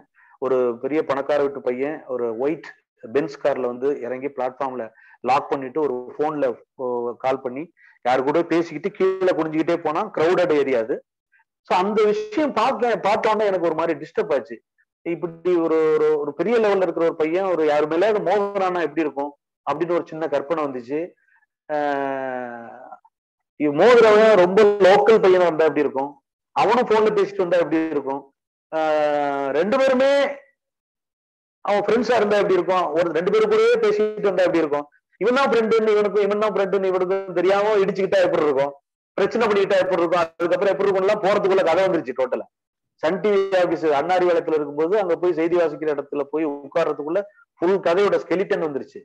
அதுக்கப்புறம் அங்க இருக்கிற என்னுடைய நண்பர்கள் ஈவேரான ஒரு பெரிய செய்தியாளர் ஒரு நண்பர் இருக்காரு. அவர் நக்கலை பிடி நக்கல் பிடிச்சாலு ஒரு நக்கல் பிடிச்சவன் ஒரு சரியான ஒரு விமர்சகர். ஒரு தரமான இந்த மாதிரி மூணு நாலு பேரை கூப்பிட்டு இந்த ஸ்கெலிட்டன் கதையை சொல்லும் போது அவங்க என்ன ரொம்ப அப்ரிஷியேட் பண்ணாங்க. அதுக்கப்புறம் ஸ்கிரீன் பிளே மாத்தலாம் அப்படின்னு சொல்லி முடிவு பண்ணி ஸ்கிரீன் பிளே மாத்தி வச்சிருந்தேன். ஒரு ஆறு அதுக்கப்புறம் ஒரு ஆறு மாசத்துக்குள்ள எனக்கு சிங்கப்பூர்ல இருந்து ப்ரொடியூசர் வந்தாரு. கதையை கேட்டா ரொம்ப பிடிச்சி போச்சு. ரெண்டாயிரத்தி பத்துல பிப்ரவரியில ஸ்டார்ட் பண்ணோம். ரெண்டாயிரத்தி பதினொன்னுல படம் ரிலீஸ் அந்த டைம்ல நிறைய பிரச்சனைகள் தேட்டர் கிடைக்காத பிரச்சனை ஒரு அரசியலமைப்பு தேட்டர்லாம் தேட்டர் எல்லாம் கேப்சர் பண்ணிக்கிட்டு ரொம்ப இது பண்ணிட்டதுனால ஒரு சின்ன ஒரு ஸ்ட்ரகிள் படம் பரவாயில்ல. அதுக்கப்புறம் என்னுடைய ப்ரொடியூசர் ரெண்டு மூணு படம் பண்ணாரு. இப்போ அடுத்த படத்துக்கான ப்ரொடியூசர்ஸ் கம்போடியால இருந்தெல்லாம் வந்திருக்காங்க. அடுத்த படத்துக்கான ஜேர்னி ஸ்டார்ட் பண்றதுக்கான சுச்சுவேஷன்ல தான் நான் இருக்கேன். உங்களுடைய வாழ்த்துக்களும் சப்போர்ட்டும் தேவை எனக்கு. உண்மை உண்மை. என்னைக்குமே வெளியே வரும். இந்த அந்த படம் சூப்பர் படம். சிம்பிளா இருந்துச்சு. ஆனா ரொம்ப என்ஜாய் பண்ண எல்லாருமே அந்த அந்த irrespective ஆஃப் ஏஜ் என்ஜாய் பண்ண படம் அது. ஒரு சின்ன concept becoming channel Vimala Rani சேனல்ல சப்ஸ்கிரைபர்ஸ் எல்லாம் கூட வாடா போடா நண்பர்கள் அப்படின்னு போட்டீங்கன்னா யூடியூப்லயே கூட அந்த படம் பார்க்கலாம். பார்த்துட்டு கை கை கை ஊத்தலாம். என்ன? அந்த லிங்க் போடுவேன். டிஸ்கிரிப்ஷன் பாக்ஸ்ல நான் லிங்க் போட போறேன். நீங்க திருப்பி பார்க்கலாம் அதை. சார் அந்த பாட்டு எப்படி பாடுறீங்க சார் எப்படி எழுதுறீங்க எல்லாமே ஒரே ஆளுக்குள்ள எப்படி இருக்கு? டைரக்ஷன் இருக்கு பாட்டு இருக்கு குரல் இருக்கு சிம்பிளிசிட்டி இருக்கு. உருவாக்குற திறமை இருக்கு. நடிகர்களை உருவாக்குற திறமைகள் இருக்கு. அது பாட்டு பாடுங்க சார். ஒரே பாட்டு பாடிட்டு அதை பத்தி சொல்லுங்க சார். பிடிச்ச பாட்டு. இப்போ வந்து எனக்கு ஃபோன் பண்ணா கூட ஒரு பாட்டு ஒண்ணு கேட்கல என்னுடைய எனக்கு பிடிச்ச பாட்டு பாடவா? இல்ல என்னுடைய எதுனாலும் பாடுங்க. என்னுடைய பாட்டே பாடவா? உங்க நம்பரை போட்டாலே ஒரு பாட்டு வருது. சுகமா இருக்கு கேக்குறதுக்கு. நீங்க எதுனாலும் பாடுங்க. அது திடீர்னு கேட்டீங்களே முன்னே சொல்லியிருந்தீங்களா ப்ரிப்பேர் பண்ணியிருந்திருப்பேன் ஏதாவது? எதுனாலும் சும்மா ஸ்பான்டேனியஸா பாடுவீங்களே சார். உங்க குரல் ரசிகர்கள். ரொம்ப பேராசைப்படுறேன்னு கூட தோணும். ஆனா பேராசை தான். வேணும் கேட்கணும். போதும் பெண்ணே கொல்லாதடி. கொல்லும் நெஞ்சே பொல்லாதடி. வந்தாய் ஏன் சென்றாய்? போதும் பெண்ணே கொல்லாதடி. கொல்லும் நெஞ்சே பொல்லாதடி.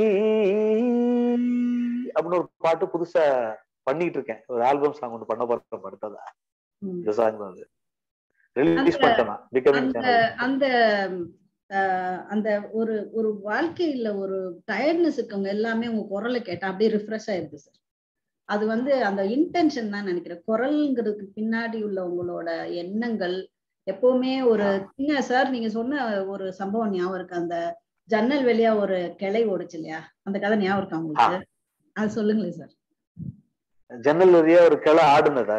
இல்ல அந்த. செவத்து வெளியா செவத்த செவத்த பேத்துக்கிட்டு ஒரு செடி வந்துச்சுன்னு எங்களுக்கு எல்லாம் ஒரு கதை சொல்லுவீங்க. அந்த செடியை பார்த்தா ஒரு இன்ஸ்பிரேஷன் வரும். உங்களுக்கு எதை பார்த்தாலும் ஒரு இன்ஸ்பிரேஷன் வரும். உடனே அதை பத்தி ஒரு ஆமா ஆமா. ஆமா ஆமா. ஒரு சாதாரணமா ஒரு ஒரு மரத்தை ஒரு அரை மணி நேரம் பார்த்துட்டு உட்கார்ந்துருப்பேன் நான். மத்தவங்களுக்கு பைத்தியம் தோணும். ஆஹ் பைத்தியம் என்று யாரையும் கல்லெடுத்து அடிக்காதீர்கள்னு ஜெயகாந்தன் சொல்லுவாரு. ஏன்னா அவன் வந்து பைத்தியம் கிடையாது. அவன் இங்க இருந்துகிட்டே இன்னொரு உலகத்துக்கு ட்ரை பண்றான் அப்படின்னு சொல்லுவாரு அவர். ரொம்ப அழகா சொல்லுவாரு. அதனால வந்து நமக்கு அது வித்தியாசமா தெரியும். அதாவது வந்து நம்ம வந்து இப்படித்தான் எல்லாருமே இருந்திருக்காங்கன்னு எனக்கு தோணுது. ஐன்ஸ்டீன் கூட பூனைக்கு ஒரு வழி பூனை குட்டிக்கு ஒரு வழி வச்சாருன்னு சொல்லுவாங்கல்ல. அது மாதிரி வந்து நான் வந்து ஒரு மரத்தை ஒரு அரை மணி நேரம் பார்த்துட்டு இருப்பேன். அந்த அரை மணி நேரத்துல கிளை ஒரு கதை சொல்லும் இலை ஒரு கதை சொல்லும் அந்த பழுப்பு இலை ஒண்ணு சொல்லும் கொழுந்து இலை ஒரு கதை சொல்லும். அது எனக்கு மட்டும்தான் அப்படி தோணுமான்லாம் நான் யோசிப்பேன். இதை நான் வந்து யுகபாரதி பாடலாசிரியர் நண்பர் அவர்கிட்ட சொல்லும்போது ஏன் மணிகை உங்க ஹீரோ ஹீரோயின் இதே மாதிரி ஒரு ரசனையோட ஏன் அவங்க டிராவல் பண்ணக்கூடாதுன்னு சொல்லி அதை பாட்டிலே எழுதி எனக்கு பாட்டா கொடுத்தாரு. வாட வாடா நண்பர்கள் ஒரு பாட்டு இருக்கும். அது ரொம்ப ரசிச்சார் அந்த விஷயத்த அவரு. ஒரு ஒரு ஒரு ஒரு ஒரு கிளை அசைகிறத அப்படியே பார்த்துட்டுங்களா அந்த இலை அசைகிறத அதுவும் இரவுல வந்து நிலா பேக்ரவுண்ட்ல ஒரு கிளை அசைகிறத பாருங்களேன். தயவு தயவு செய்து எல்லாரும் பாருங்க. உங்களுக்கு கண்டிப்பா ஏதாவது ஒண்ணு சொல்லும் அது.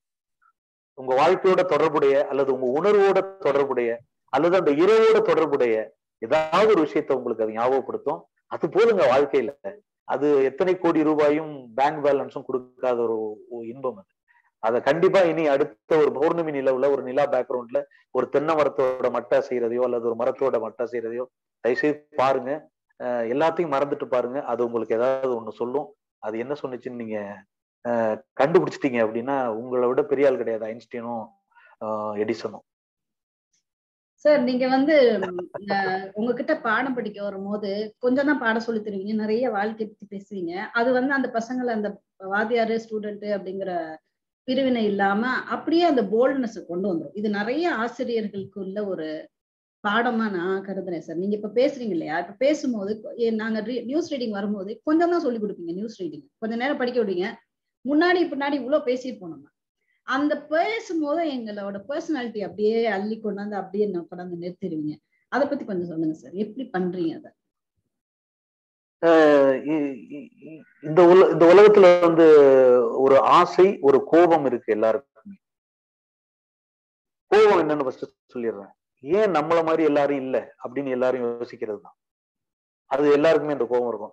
நாம செகண்ட் கியர் போட்டு போகும்போது இவன் ஏன் உள்ள வந்தான்? அவன் தேர்ட் போட்டு உள்ள வந்திருப்பான். அதுக்கு முன்னாடி தான் நீ நாம போயிருப்போம்.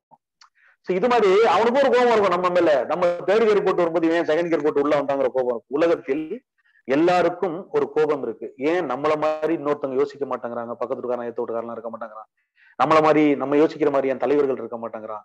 அரசு இருக்க மாட்டேங்குது அதிகாரிகள் இருக்க மாட்டேங்கிறாங்கன்னு மாணவர்கள் இருக்க மாட்டேங்கிறாங்கன்னு ஆசிரியர்கள் ஆசிரியர்கள் ஏன் நம்மள புரிஞ்சுக்க மாட்டாங்க ஸ்டூடெண்ட்டும் எல்லாருக்கும் நம்மள மாதிரியே இன்னொருத்தர் இல்லைங்கிற ஒரு கோபம் எல்லாருக்குமே எப்பவுமே நிரந்தரமா இருக்கணும்.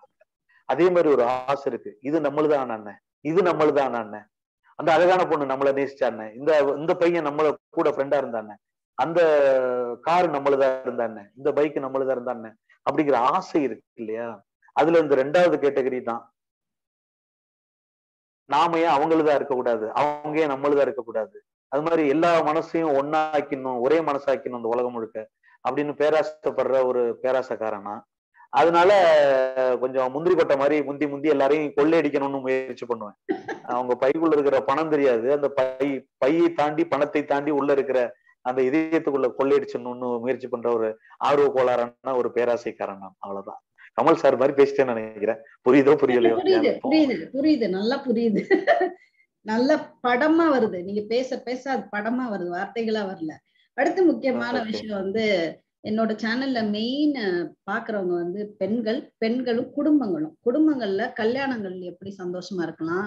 அடுத்த ஜெனரேஷனுக்கு எப்படி நல்ல தாய் தந்தையா இருக்கலாம்? ஹஸ்பண்ட் அண்ட் ஒய்ஃப்குள்ள எப்படி ஒரு வாழ்க்கையை அவங்கவுங்களுக்கு ஒரு ஸ்பேஸ கொடுத்து வளர்த்து கொண்டு வரலான்ற அவங்களுக்கு நீங்க என்ன சொல்ல விரும்புறீங்க சார் ஆண் பெண் கணவன் மனைவி. குறிப்பா குறிப்பா குடும்பத்துல இருக்கிற பெண்களுக்கும் ஆண்களுக்கும் பொதுவான ஒரு என்னுடைய அனுபவத்தில இருந்து என்னுடைய எனக்கு பட்டத விஷயத்த சொல்லிடுறேன். உண்மையை. குறிப்பா பெண்களுக்கு தயவு செய்து எந்த ஒரு விஷயத்திலையும் விட்டு கொடுக்காதீங்கன்னு விட்டு கொடுங்கன்னு சொல்லுவாங்க எல்லாரும். விட்டு கொடுத்து போங்க விட்டு கொடுத்து போங்க. ஹஸ்பண்ட் பிரச்சனை விட்டு கொடுத்து போங்க. பிள்ளைங்க பிரச்சனை விட்டு கொடுத்து போங்க. நான் வந்து விட்டு கொடுத்து போகாதீங்கன்னு நான் சொல்லவே மாட்டேன். விட்டு கொடுக்கவே கொடுக்காதீங்க. விட்டு பிடிங்கன்னு சொல்லுவேன். விட்டு கொடுக்கறதுக்கு விட்டு பிடிக்கிறதுக்குன்னு பிடிக்கிறதுன்னு ஒரு சின்ன ஒரு ஸ்டெப் வெயிட் பண்ணுங்க அவ்வளவுதான். இன்னைக்கு உங்க வீட்டுக்காரர் பிரச்சனை பண்றாரா? நீங்களும் ஈக்குவலா அந்த பிரச்சனை பண்ணாம விட்டுட்டு நாளைக்கு ஒரு நல்ல மூல இருக்கும்போது நீங்க பிரச்சனை பண்ணுங்க நேத்தியா அந்த மாதிரி சொன்னேன். அது இப்ப நீ ரியலைஸ் பண்ணி எனக்கு மன்னிப்பு கேட்டாதான் உன்னை விடுவேன். அப்படி சொல்லி விட்டுறாதீங்க அதை. விட்டீங்கன்னா வளர்ந்துகிட்டா புத்து மாதிரி போகும் அது. விட்டே கொடுக்காதீங்க. விட்டு பிடிங்க அப்படிங்கிற ஒரே ஒரு வார்த்தை சொல்லணும்னு நான் நினைக்கிறேன். பசங்களா இருந்தாலும் சரி அவன் கோவமா இருக்கும்போது நீங்களும் கோவமா பேசுனீங்கன்னா வேற மாதிரி யோசிப்பான். நேத்து நாளைக்கு நல்லா இருப்ப ஜாலி மூட்ல இருக்கும்போது நேத்து மாதிரி பண்ணல அது மாதிரி தப்புன்னு சொல்லி புரிய வச்சோம்னா ரியலைஸ் பண்ணுவாங்க அவங்க நியூட்ரலா இருக்கும்போது நாம கியர் போடணும். அவங்க கியர்ல இருக்கும்போது நாம நியூட்ரல் பண்ணோம்னா வண்டி ஓடாது. விட்டு கொடுக்காதீங்க. விட்டு பிடிங்க அப்படிங்கிற ஒரு விஷயம் தான். இது எல்லாமே பொருந்தும் நினைக்கிறேன். சூப்பர். இது ஒண்ணு. கல்யாணம் அப்படின்னா என்னென்ன விஷயங்கள் அதுல இருக்கு? இத பாக்குற எல்லாருக்குமே வந்து சும்மா குதிச்சிடும் ஒரு கல்யாணத்துக்குள்ள சும்மா குதிச்சிடும் இல்லையா? அது வந்து எவ்வளவு பெரிய பியூட்டிஃபுல்லான ஒரு சிஸ்டம் சொல்ல எனக்கு பிடிக்கல. ஒரு பியூட்டிஃபுல்லான ஜேர்னி அது. மேரேஜ்ங்கிறது பியூட்டிஃபுல்லான ஜேர்னி அதோட அங்கங்கள்லாம் என்ன? அதோட பார்ட்ஸ் எல்லாம் என்ன? அதை எப்படி டிராவல் பண்ணணும்னு சொல்லுங்க சார் கல்யாணம் அப்படிங்கிறது வந்து பொருளாதாரம் சார்ந்தோ ஜாதி சார்ந்தோ மற்ற மற்ற மத்த மத்த அமைப்புகள் சார்ந்தோ இருக்கிற விஷயம் கிடையாது. இது கம்ப்ளீட்டா முழுக்க முழுக்க மனம் சார்ந்த உணர்வு சார்ந்த ஒரு விஷயம். இதுக்கு வந்து நீங்க லவ் பண்ணி தான் கல்யாணம் பண்ணணும் அப்படின்னு அவசியம் கிடையாது. நீங்க லவ் பண்ணி கல்யாணம் பண்ணாலும் லவ் பண்ணி கல்யாணம் பண்றது மேக்ஸிமம் பிரச்சனையில தான் முடியுது. அதை நான் பார்த்துட்டேன் என்னோட அனுபவத்துல. ஏன்னா அது வந்து ஒரு செல்ஃபிஷ்னஸோட ஓப்பனிங் இருக்கும். அதே செல்ஃபிஷ்னஸோட எண்டிங்ல இருக்கிறதுனால பிரச்சனை ஆயிடுது. செல்ஃபிஷ்னஸ்லயே ரெண்டு விஷயம் இருக்கு. இந்த பொண்ணு வேணும்னு அந்த பையனும் அந்த அந்த பையன் வேணுங்கிற அந்த இன்டென்ஷன் ரெண்டு பேருக்கு இருக்கிறதுனால எல்லாத்தையும் விட்டு கொடுத்துட்றாங்க ஃபர்ஸ்ட் விட்டு கொடுத்து வேற மாதிரி காட்டி ஜாயின் பண்ணிக்கிறாங்க. அதுக்கப்புறம் அதே செல்ஃபிஷ்னஸ் ரிவர்ஸ்ல மாறுறதுனால வர்ற பிரச்சனை நிறைய டிவோர்ஸ் அது இதுன்னு போய் முடியுது. ஆனா நான் வந்து ஒரு பெண்ணை ஆண் பார்க்கும் போதும் ஆணை பெண் பார்க்கும் போதும் அது அரேஞ்ச்மெண்டோ அல்லது லவ் மேரேஜோ உங்க உள்ளுணர்வு ஒரு விஷயத்த பளிச்சுன்னு சொல்லும். அதை யாருக்காக விட்டு கொடுத்துறாதீங்க? எப்பவும் விட்டு கொடுத்துறாதீங்க? பேரண்ட்ஸ் வந்து இது பண்றாங்க. இல்ல ஃப்ரெண்ட்ஸ் வந்து புஷ் பண்றாங்க. அப்படிங்கிற எந்த ஒரு விஷயத்துக்கும் impression is very important to choose partnership அது ரொம்ப முக்கியம். அது ஆணா இருந்தாலும் சரி பெண்ணா இருந்தாலும் சரி. இவதான் அது ரொம்ப இப்ப ஒரு மாதிரி இந்த உ- உணர்ச்சி சார்ந்த விஷயங்களா வர்ற முடிவு இல்லாம உணர்வு சார்ந்த விஷயங்களை ஹண்ட்ரட் பர்சன்ட் உங்க மனசு சத்தியம் பண்ணும். அந்த சத்தியத்தை மட்டும் நம்புங்க. ஒரு பர்சன்ட் அது டவுட் ஷேக் ஆச்சுனாலும் அதை யாரு புஷ் பண்ணாலும் ஒத்துக்காதீங்க. என்ன இன்டென்ஷன் இருந்தாலும் ஒத்துக்காதீங்க அதை. அது தூக்கி போட்டுருங்க. அதனால உங்க மனசு ஹண்ட்ரட் பர்சன்ட் இவங்க தான் நம்ம பார்ட்னர்ஷிப் லைஃப் லாங் வருவாங்க அப்படிங்கிற ஒரு உண்மையை சத்தியமா வாணி அடிச்ச மாதிரி சொல்லும். அதை மட்டும் நம்புனீங்கன்னா நீங்க முடிவு சரியா எடுக்கலாம். இது என்னுடைய வாழ்க்கை பாடம் இது. என்னுடைய வாழ்க்கையில இருந்து உண்மையை சொல்றேன் வெக்கத்தோட. ஒரு நூறு பொண்ணுங்களை பார்த்து நான் ரிஜெக்ட் பண்ணியிருக்கேன். இன்னொரு ஒரு அஞ்சு பொண்ணுங்க ரிஜெக்ட் பண்ணியிருக்காங்க. அதில் அதுல நான் ஃபைனலா நான் வந்து எல்லார்ட்டையும் நான் இன்டர்வியூ எல்லாம் பண்ணியிருக்கேன். உண்மையை சொல்ல போனா. அரை மணி நேரம் இன்டர்வியூ எல்லாம் பண்ணியிருக்கேன். பண்ணி என்ன டிவி பார்ப்பீங்களா? என்ன பார்ப்பீங்க? சீரியல் பார்ப்பேன். சீரியல் பார்ப்பேன். பிடிக்காது எனக்கு ஃபர்ஸ்ட் புக்ஸ் படிப்பீங்களா? இந்த மாதிரி சில சில விஷயங்கள்லாம் விட்டு நான் நிறைய ரிஜெக்ட் பண்ணியிருக்கேன். ஆனா என் ஒய்ஃபை பார்க்கும்போது கவிதா அவங்க வசந்தியில் செய்தி வாசிப்பாளராக இருந்தாங்க. அரேஞ்ச்மெண்ட் மேரேஜ் தான். நான் வந்து ஃபிளாப் ஆனேன். அது நீங்க எந்த காலேஜ்ல படிக்கிறீங்க? அப்படின்னு கேட்டா அவங்க குரலை செக் பண்றது தான் என்னோட இன்டென்ஷன் நீங்க எந்த காலேஜ்ல படிக்கிறீங்க? அப்படின்னு கேட்டா நான் எஸ்ஐடி காலேஜ்ல படிக்கிறேன்னு ஒரு மூணு வார்த்தை நாலு வார்த்தை சொல்லுவாங்க. நானே ஃபிளாப் ஆகி நீங்க எஸ்ஐடில படிக்கிறீங்களா? அப்படின்னா. ம் புடிச்சிட்டா. நீங்க என்ன படிக்கிறீங்கன்னா பிகாம் படிக்கிறேன்னு மூணு நாலு வார்த்தை பேசுவா குரல் கேட்கலாம் எனக்கு. நான் பிகாம் படிக்கிறீங்களா? ஃபிளாப் ஆயிட்டேனா? ம் அங்க நான் ஃபிளாப் ஆயிட்டேன். முடிச்சு போச்சு. இதுதான் முடிவாயி அதுக்கப்புறம் பீஸ்ஃபுல்லா போயிட்டு இருக்கு. எனக்கு ஆல்சோ மனைவி இஸ் ஆல்சோ பெரிய கிஃப்ட் எனக்கு.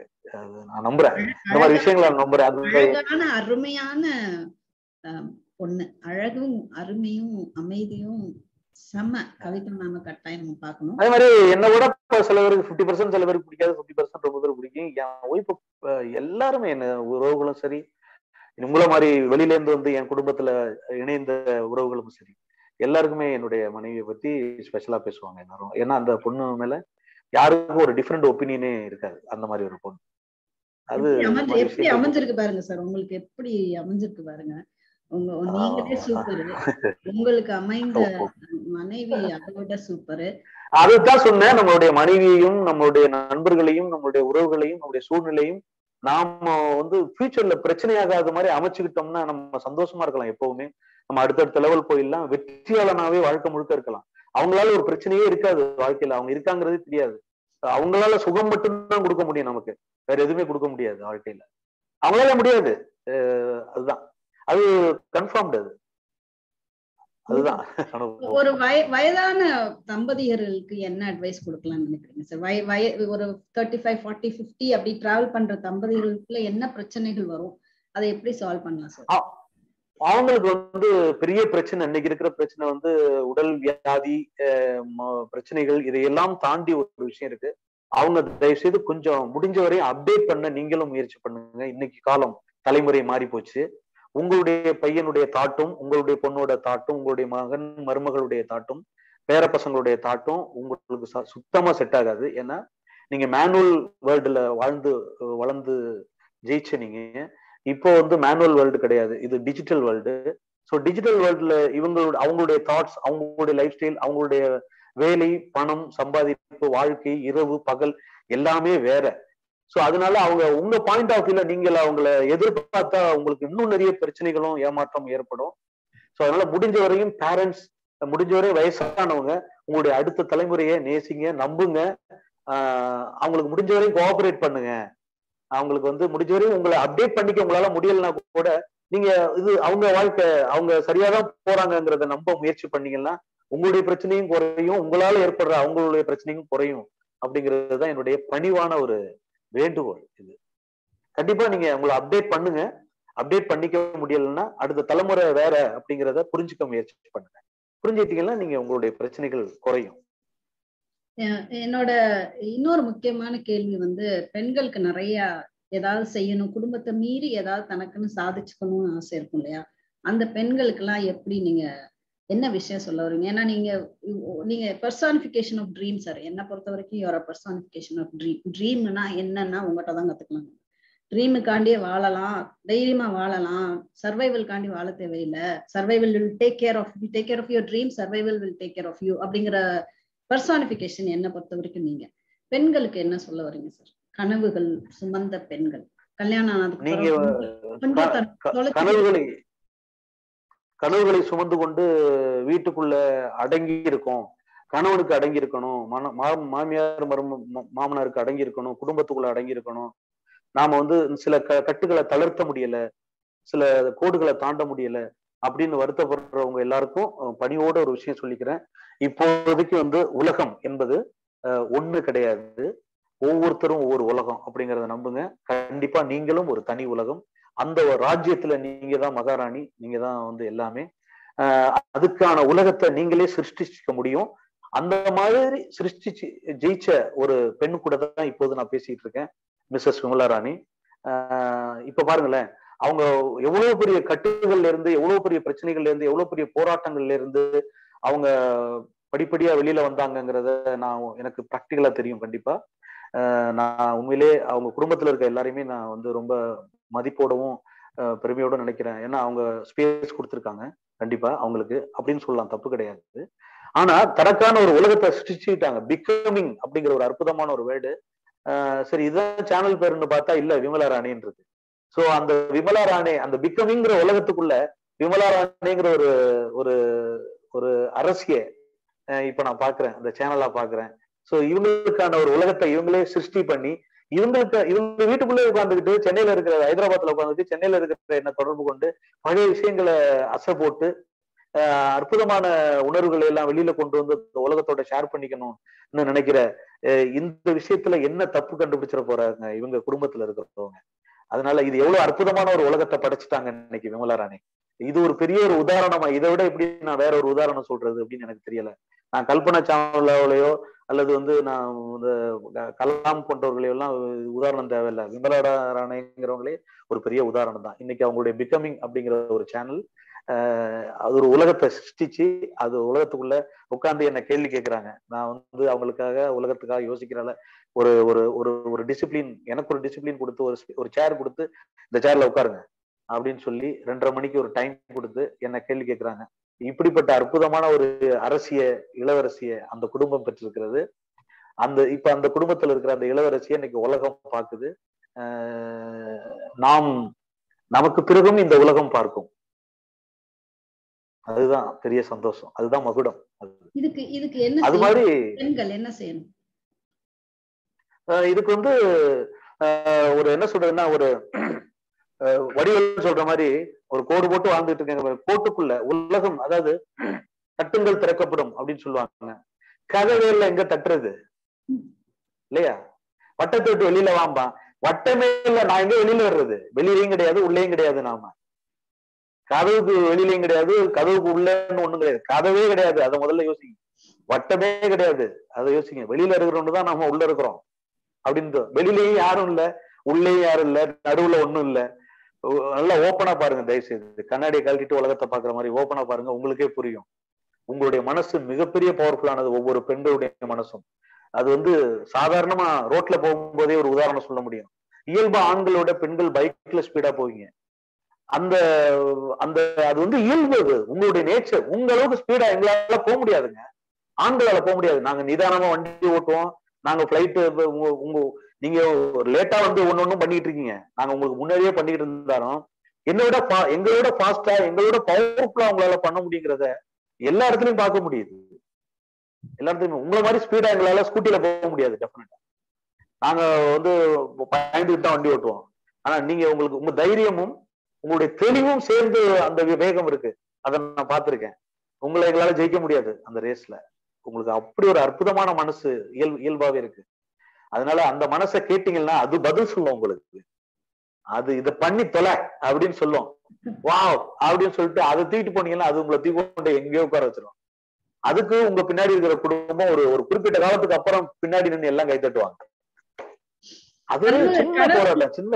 கனவுகளை சுமக்கும் பெண்களோட கணவன்மார்களுக்கு என்ன சொல்லுங்க கனவுகளை சுமக்கிற பெண் நமக்கு கிடைச்சிருக்கா? அப்படிங்கறத உணர்ந்துக்கிடுங்க ஐயா தயவு செய்து தயவு செய்து கணவன்மார்களே என் அண்ணன் தம்பிகளே. அது வந்து கனவு இல்லாம இருக்கிறதுக்கு ஒரு பொண்ணு என்ன என்ன மரமா இல்ல வந்து பழுத்தது கீழே ஒரு மட்டையா? ஒரு ஒரு அற்புதமான பெண். ஒரு பெண்ணுங்கிறது எல்லாருமே பொண்ணுதான் ஆம்பளைன்னு ஒருத்தன் கிடையாது என்ன பொறுத்த வரைக்கும். ஒரு பெண்ணுடைய வயிற்றுக்குள்ள பத்து மாசம் உருவாகி வெளியில வர்ற ஒருத்தன் எப்படி ஹண்ட்ரட் பெர்சன்ட் ஆணா இருக்க முடியும்? பெண்கள் ஹண்ட்ரட் பெர்சன்ட் பெண்களா இருக்க முடியும். ஆண்கள் ஹண்ட்ரட் பெர்சன்ட் கிடையாது.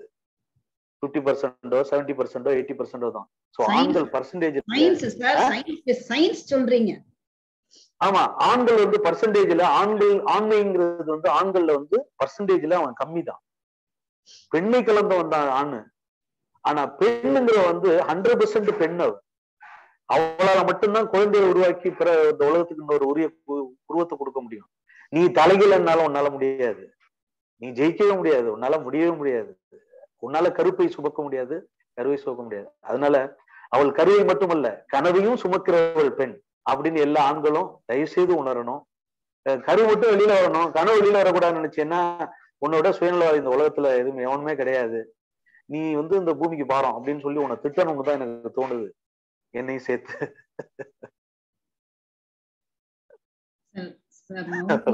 மௌனமா இருக்கணும் போல இருக்கு சார். உங்களை பேச விட்டுட்டே என்ன என்கிட்ட உங்கள்கிட்ட ரொம்ப பிடிச்ச விஷயம் என்ன உழவு யோசிக்க வைக்கிறீங்களே என்னையே யோசிக்க வைக்கிறீங்களேங்கிறதா எனக்கு பெரிய ஆச்சரியமா இருக்கு. அது காரணம் நீங்க தான் உண்மையிலேயே. இது ஒரு கன ஒரு கனவை சுமந்துட்டு என்னோட அனுபவத்துல கனவை சுமந்துட்டு அதை வெளிக்கொணராத பெண்கள் நிறைய வியாதியில விழுந்துடுறாங்க சார் அவங்களுக்கு என்ன சொல்ல விரும்புறீங்க? வியாதி வந்தவங்களுக்கு என்ன சொல்ல விரும்புறீங்க? அவங்களுக்கு தெரியுது இருக்கு அது அதை முடக்கி வச்சதுனால எனக்கு வியாதி வந்துருச்சுன்னு நினைக்கிற பெண்களுக்கு என்ன சொல்லுவாங்க கண்டிப்பா எதையுமே தேக்கி வச்சா அது பிரச்சனை தான் உடம்புல இருக்கிற எனர்ஜியா இருக்கட்டும் மனசுல இருக்கிற சிந்தனையா இருக்கட்டும் ஆஹ் எதையுமே பணமா இருக்கட்டும் எதையுமே தேக்கி வச்சா அது வியாதி தான் ஸோ அதை தான் அன்னன்னைக்கு செலவு பண்ணிடணும் அப்படின்னு சயின்ஸ் சொல்லுது அனாட்டமி சொல்லுது. ஸோ அது மாதிரி உங்களுடைய கனவு வந்து என்ன சொல்றது அப்படின்னா அதுக்கு ஒரு காலம் அது வரையும் வெயிட் பண்ணுங்க இளையராஜா சார்கிட்ட பாடுறதுக்கு வாய்ப்பு கேட்டு நான் போனப்போ இளையராஜா சாரை பார்க்கும்போது அவர் என்னுடைய கண்களை பார்த்தாரு. பார்த்துட்டு அவர் என்ன நினைச்சாருன்னு தெரியல. டக்குனு சுந்தரராஜன் இவரை வாய்ஸ் டெஸ்ட் எடுங்க அப்படின்னு சொல்லி அவருடைய கண்டக்டர் சுந்தரராஜன் சார் அவரு அவரை கூப்பிட்டு என்னை ஒப்படைச்சிட்டு போறாரு கிட்டத்தட்ட. ஏன்னா அவர் கண்களை தான் பார்ப்பாரு. ஃபர்ஸ்ட் இளையராஜா சார்ட்ட போய் வாய்ப்பு கேட்கும்போது அவர் கண்களை பார்ப்பாரு. கண்களை பார்த்து அவர் அடையாளம் கண்டுபிடிப்பாரு. பிடிச்சா அவர் பேசுவார் இல்லைன்னா டென்ஷன் ஆவார் அந்த மாதிரி டைப் அவர். வெளில வெளில போனலாம் துரத்தி விட்டுருக்கதெல்லாம் நான் பார்த்துருக்கேன். பட் என்ன ஏனோ தெரியல அவருக்கு பிடிச்சிச்சு. என்ன வாய்ஸ் டெஸ்ட் எடுத்துட்டு ஓகே வாய்ஸ் ஓகே அப்படின்னு சொல்லிட்டாங்க. கோரஸ்க்கு தான் என்ட்ரு ஆகுறேன் அப்ப நான் பிரபல சிங்கர்ஸ் அதாவது அதாவது பிரபல இசையமைப்பாளர்கிட்ட எல்லாம் கோரஸ் பாடிக்கிட்டு இருக்கேன். ராஜா சார்ட்ட பாடணும்னு ஆசை எல்லாருக்கும் இருக்கும்ல எனக்கும் இருந்துச்சு. அப்பதான் அந்த சம்பவம் நடந்துச்சு. அப்போ ராஜா சார் வந்து படங்கள் குறைஞ்சு போச்சு அவருக்கு. ஸோ படங்கள் வரல. எனக்கும் வாய்ப்பு வாய்ப்புக்காக டெய்லி நான் ஸ்டுடியோ போயிட்டு இருப்பேன் அந்த டைம்ல செய்தி வாசிப்பு பண்ணி போயிட்டு இருக்கும் போதே நான் வாய்ப்பு தேடி ஸ்டுடியோவுக்கும் போயிட்டு இருப்பேன். அப்போ சுந்தரராஜன் சார்கிட்ட நான் கேட்டேன் சுந்தரராஜன் சார் இந்த விமலா மேடம் சொல்ற மாதிரி தான் சொல்லுவாரு. நீ என் மகம் மாறிடா. உனக்கு வந்து நீ வந்து ஆல்ரவுண்டரா உன்னால பாட முடியும். ஆல்ரவுண்டருக்கான ஒரு தகுதியெல்லாம் இருக்கு. தமிழ்ல எஸ்பி பாலசுப்ரமணியன் நார்த்ல வந்து சங்கர் மகாதேவன் தான் ஆல்ரவுண்டர்னு சொல்லுவாங்க. அதே மாதிரி நீ ஒரு ஆல்ரவுண்டர் வரதுக்கான வாய்ஸ் இருக்கு உங்ககிட்ட அப்படின்னு சொல்லி உன்னை பத்தி சொல்லிட்டேன். ராஜா சார் நெக்ஸ்ட் இதுல உன்னை கூப்பிடாரு கண்டிப்பா வெயிட் பண்ணணும்னு. தள்ளி போய்கிட்டே இருக்கு. அப்புறம் நான் போகும்போதெல்லாம் என்ன பாராட்டிக்கிட்டே இருப்பாரா? நான் சொன்னேன் இவ்வளவு பாராட்டுறீங்க இவ்வளோ என்ன பெரிய இது மாதிரி சொல்லிட்டு இருக்கீங்க. எனக்கு ரொம்ப எரிச்சலா இருக்கு நீங்க இதெல்லாம் பேசும்போது. நான் அந்த அளவுக்கு பேசுற அளவுக்கு ஒரு அப்பாட்ட பையன் பேசுற அளவுக்கு ஃப்ரெண்ட்லியா பேசுற அளவுக்கு நான் போயிட்டேன் விட்டேன் அப்ப சொன்னாரு என்னடா என்னடா கேட்க வர நீ என்கிட்ட? அப்படின்னாரு. எனக்கே இன்னும் வாய்ப்பு வரல. என்ன நான் ஏன் இன்னும் ஜெயிக்கல வாழ்க்கையில? அப்படின்னு சொல்லி கேட்கும்போது மணி என்ன இப்ப? அப்படின்னு கேட்டாரு. மணி பன்னெண்டு ஐம்பத்தி அஞ்சு டுவெல் ஃபிஃப்டி ஃபைவ் அப்படின்னு கேட்டேன். ஆஹ் நீ தலைகீழ நின்னாலும் ஒரு மணி ஆகுறதுக்கு இன்னும் அஞ்சு நிமிஷம் இருக்குடா அப்படின்னாரு. நீ என்னதான் நீ இப்ப என்னதான் நீ மேஜிக் பண்ணினாலும் இன்னும் அஞ்சு நிமிஷம் இருக்கு ஒரு மணி ஒரு மணி ஆகுறதுக்கு. சோ ஒரு மணி வரையும் நீ வெயிட் பண்ணி தான் வேற வழி இல்லை ஒரு மணி ஆகுறதுக்கு. அது மாதிரி வாய்ப்பு வந்து டைமுக்காக காத்திருக்கிற நீ அவ்வளவுதான். அந்த டைம் இப்பயே கிடைக்கணும் அப்படி சொல்லி டார்ச்சர் பண்ணினா அது வாய்ப்பு கிடையாது. அதெல்லாம் அந்த டைம் வரும்போது அந்த வாய்ப்பு வந்துடும் அதை பயன்படுத்திக்கோ பெரிய ஆள் அப்படின்னாரு. அதே மாதிரிதான். கனவுகளை சுமந்து கொண்டிருக்கும் எல்லா பெண்களுக்கும் சொல்றேன். அது கணவனால பிரச்சனை இருந்தாலும் சரி மாமியார் மாமனாரால் பிரச்சனை இருந்தாலும் சரி சொசைட்டில யாரால பிரச்சனை இருந்தாலும் சரி உங்களுக்குன்னு ஒரு டைம் வரும் ஒரு சந்தர்ப்பம் சூழ்நிலை வரும். அது வரையும் கொஞ்சம் வெயிட் பண்ணுங்க பொறுமையா. அது வரும்போது டக்குன்னு அடிச்சிங்க அப்படின்னா எல்லாம் ஒர்க் அவுட் ஆயிடும். எல்லாரும் சரண்டர் ஆயிடுவாங்க. அதுக்காக அதை அந்த டைமை ஃபைண்ட் அவுட் பண்ணி அதை ஐடென்டிஃபை பண்ற அளவுக்கான ஒரு தகுதியையும் ஒரு மனநிலையையும் நீங்க எப்பவுமே தயாரா வச்சுக்கிடுங்க அப்படிங்கறதான் என்னுடைய ஒரு உதாரணம். முக்கியமான விஷயத்த அழகா மென்மையா யாருமே கோவப்படாத மாதிரி சொல்றீங்க சார் இதே மாதிரி இன்னொரு இன்னொரு எல்லாருமே ரொம்ப ஒளிஞ்சுக்கிட்டு தெரியுற ஒரு டாபிக் ஆனா போட்டோம்னா அந்த வீடியோ அந்த வீடியோ தான் சல்லுன்னு வியூஸ் போகுது. டாபிக் கெஸ் பண்ணுங்க. வெளியே பேச மாட்டாங்க. ஆனா அந்த டாபிக்ல வீடியோ போட்டேன்னா எல்லாரும் நிறைய பாக்குறாங்க. ஆமா அது ஒரு மாதிரி ஒரு தேர்ட் கிளாஸ் வீடியோஸ் சொல்றீங்களா இல்ல? கல்யாணத்தை பத்தி பேசிட்டு இருக்கோம். முக்கியமான பங்கு அதுல செக்ஸ் அத பத்தி பேசுங்க சார் தாம்பத்திய தாம்பத்திய வாழ்க்கையை பத்தி பேசுங்க. எப்படி கணவன் மனைவிமார்கள் ஒருத்தர் ஒருத்தர் சந்தோஷப்படுத்திக்கலாம்? ஏன்னா இப்ப கோபம் வந்துச்சு அப்படின்னா இப்ப நிறைய தம்பதிகள் ரூம்மேட்ஸா தான் வாழ்ற மாதிரி ஆயிடுச்சு இல்லையா? நிறைய அது கல்யாணம் பண்ணி மூணு நாலு குழந்தைகள் பெற்றவங்க வயசான காலத்துல கூட கணவன் மனைவி பிரிகிறதையில நம்ம பாக்குறோம் பல வருடங்கள் பேச்சுவார்த்தை இல்லாம இருக்கிறத பாக்குறோம் பெரிய சிக்கலுக்கு உள்ளாகி சொசைட்டில வந்து ஒரு சைக்காலஜிக்கல் ப்ராப்ளம்லாம் வந்து பெரிய அளவுல அவங்க வந்து பிரச்சனைகளை உண்டு பண்ணிட்டு தகாத உறவுகள் அல்லது வெளியில மரியாதைக்குரியவங்கள்ட்ட எல்லாம் தப்பா அணுகிறது. இந்த மாதிரி விஷயங்கள்லாம் கூட நிறைய நடக்கிறத நம்ம பாக்குறோம் அதுக்கு முக்கிய காரணம் செக்ஸ் ஒண்ணு. இன்னொன்னு வீட்டுல பெண்கள் ரொம்ப சில பெண்கள் வந்து பய இது வந்து ஒரு சயின்டிபிக்கான ஒரு உண்மை. பெண்கள் பயங்கரமா கத்திக்கிட்டு இருப்பாங்க. கண்ணா பயங்கரமா வயதான பெண்கள் ரொம்ப கத்திக்கிட்டு இருப்பாங்க. அல்லது வயதான ஆண்கள் வந்து அவங்களுடைய ஆக்டிவிட்டிஸ் எல்லாம் வேற மாதிரி போயிட்டு இருக்கும். என்ன அப்படின்னு கேட்டா ஏதோ ஒரு சூழ்நிலையில ஒரு சந்தர்ப்பங்கள்ல தங்களுடைய செக்ஸ் தேவைகளை பூர்த்திக்கு பண் பூர்த்தி பண்ணிக்க முடியாமலோ அல்லது வெளிப்படுத்தி கொள்ள முடியாமலோ இருக்கிற அந்த ஒரு பிரச்சனை தான். அது வந்து இயல்பா இருக்கணும். அதை வந்து ஒரு மனைவியும் புரிஞ்சுக்கணும் கணவனும் புரிஞ்சுக்கிட்டு ஆஹ் வயசாயிடுச்சு குழந்தை குட்டிங்கெல்லாம் இருக்கு அப்படிங்கிறத காரணம் சொ- சொல்லாம அட்ஜஸ்ட் பண்ணி அத போறது ஒரு டைப் இருக்கு. இன்னொன்னு வந்து ரொம்ப அதை வந்து ஒரு ஃப்ரஸ்ட்ரேஷனா எடுத்துக்கிட்டு அதை வேற வழியில திசை திருப்பிட்டு போறதுங்கிறது வந்து ஒரு தவறான ஒரு அது ஒரு விஷயம். அது கண்டிப்பா என்னைக்கு இருந்தாலும் அது வந்து ஒரு பெரிய தற்கொலையோட மரணத்தை விட கொடுமையான அவமானத்தை கொடுத்துரும். அப்படிங்கிற அந்த அவமானத்துக்கு பயந்து அவங்க கண்ட்ரோல் பண்ணிக்கணும். மனசை எப்பவுமே வந்து அறிவால கண்ட்ரோல் பண்ணலாம். அந்த அந்த அறிவாயுதத்தை நீங்க நம்பி ஆகணும் அதை. ஆஹ் சூழ்நிலைகளை மற்ற விஷயங்களை எல்லாம் உணர்ந்து பிராக்டிக்கலா அவங்க ஏன் ஒத்துக்க மாட்டேங்கிறாங்க அப்படிங்கிற விஷயத்த உணர்ந்து இவங்க ஒரு நாள் விட்டு கொடுத்து சரி இவங்களுக்காக அவங்க ஒரு நாள் விட்டு கொடுத்து ஒரு நாள் இல்லைனாலும் இன்னொரு நாள் அந்த அந்த ஒரு விருப்பப்படுற அந்த உணவை சாப்பிட சாப்பிட்டே ஆகணும். அதுல எந்த தப்பும் கிடையாது. அதை ஒதுக்கி வைக்கிறது டோட்டலா கணவனை ஒதுக்கி வைக்கிறது பல காரணங்கள் சொல்லி மனைவியை ஒதுக்கி வைக்கிறது பல காரணங்களை சொல்லி அது ரெண்டு பேருக்குமே பிரச்சனையில தான் போய் முடியும். அது தவறான ஒரு அவமானத்தை சந்திக்கிற ஒரு சூழ்நிலையை உருவாக்கிறோம் வாழ்க்கையில.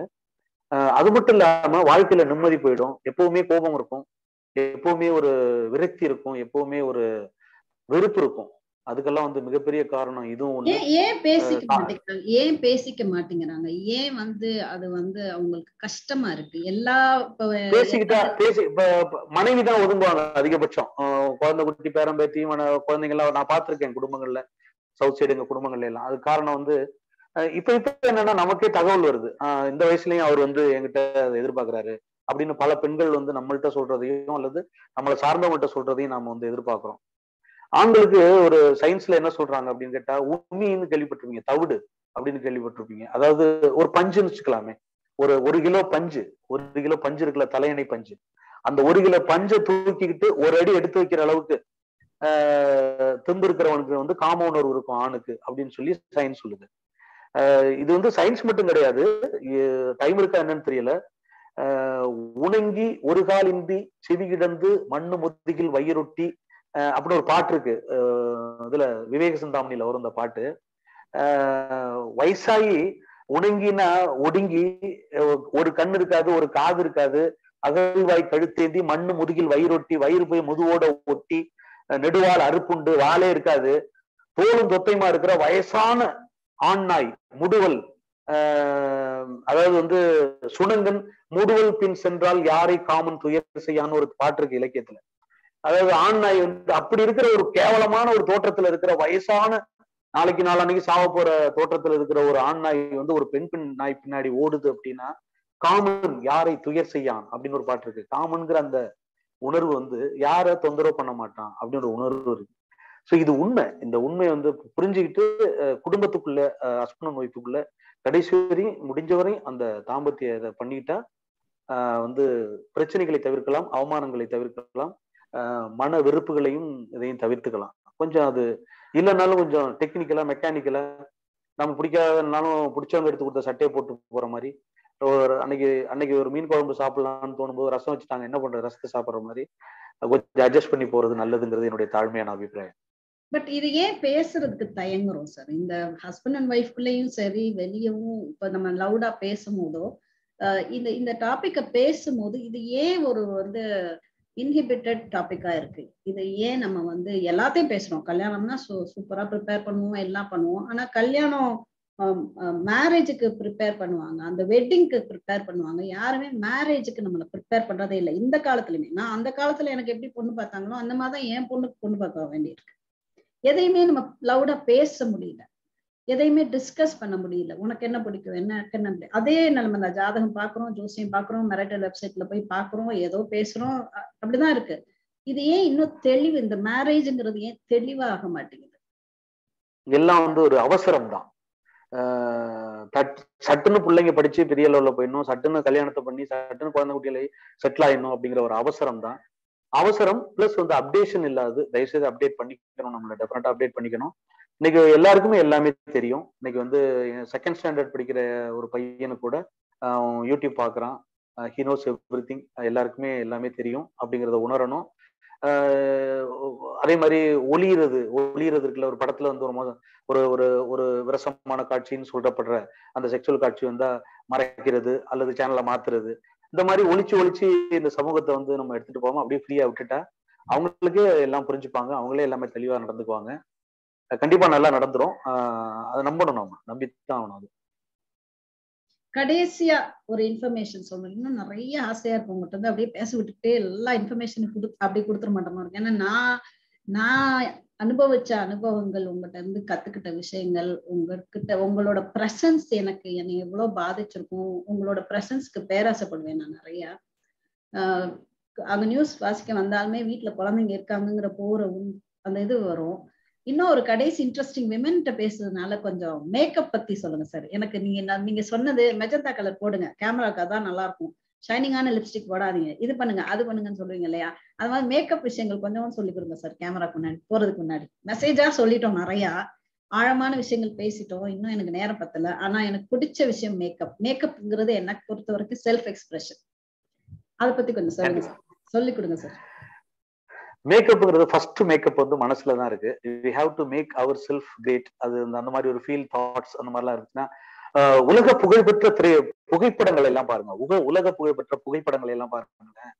ரொம்ப சுருக்கம் உள்ள வாழ்க்கை முழுக்க சுருக்கம் தேங்கிய ஒரு முகத்தினுடைய ஒரு போட்டோ இருக்கும். இல்ல உலகத்தை பத்தி உலகத்தையே தெரியாத ஒரு குழந்தையினுடைய போகம் புகைப்படமா இருக்கும்.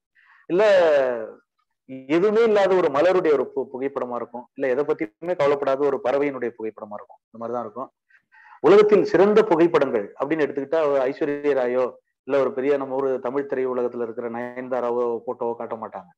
உலகத்தில் பிரசித்தி பெற்ற மிகப்பெரிய அற்புதமான புகைப்படங்கள் எடுத்துக்கிட்டோம்னா உணர்வுகளை வெளிப்படுத்துற விஷயங்களா இருக்கும். அது மாதிரி எல்லாரும் மனசுக்குள்ளேயும் வந்து இப்போ எனக்கு என்ன கூட செய்தி வாசிக்கும் போது முடி நீங்க விக்கு வச்சுங்களேன் அப்படிம்பாங்க. அப்படிலாம் கிடையாது. நான் இந்த தலையை பார்க்காம என்னால பண்ண முடியும் ஆடியன்ஸ்ன்னு சொல்லியிருக்கேன் எங்க சீஃப் கிட்ட. என்னுடைய பிரசன்டேஷன் ஸ்டைல நான் உட்கார்ற அந்த கெஸ்டர்ல என்னுடைய பார்வையில என்னுடைய ஸ்மைல்ல என்னுடைய குரல் மாடுலேஷன்ல நான் வந்து இந்த மக்களை வந்து என் தலையை பார்க்க விடாம நியூஸ பார்க்க வச்சிருவேன். அப்படின்னு நான் சொல்லுவேன். டே பெரிய ஆள்றா நீ அப்படின்னு அவர் என்ன கலாய்ப்பாரு. அதே மாதிரி நான் ட்ரெயின்ல போகும்போது நிறைய பெண்களை சந்திக்கும் போது குறிப்பா பெண்கள் ஹோம் மேக்கர்ஸ் அந்த பெண்கள் என்கிட்ட சொல்லியிருக்காங்க. என்ன அப்படின்னு கேட்டா நீங்க செய்தி வாசிக்கும் போது மட்டும் சார் நாங்க வந்து வீட்டுல சவுண்ட் ஃபுல்லா வச்சுட்டு அடுப்படியில நாங்க வந்து கிச்சன்ல வேலை பார்த்துட்டு இருப்போம் நீங்க படிக்கிற அந்த ஸ்டைல் எங்களுக்கு விஷுவல் மைண்ட்ல ஓடும்பாங்க.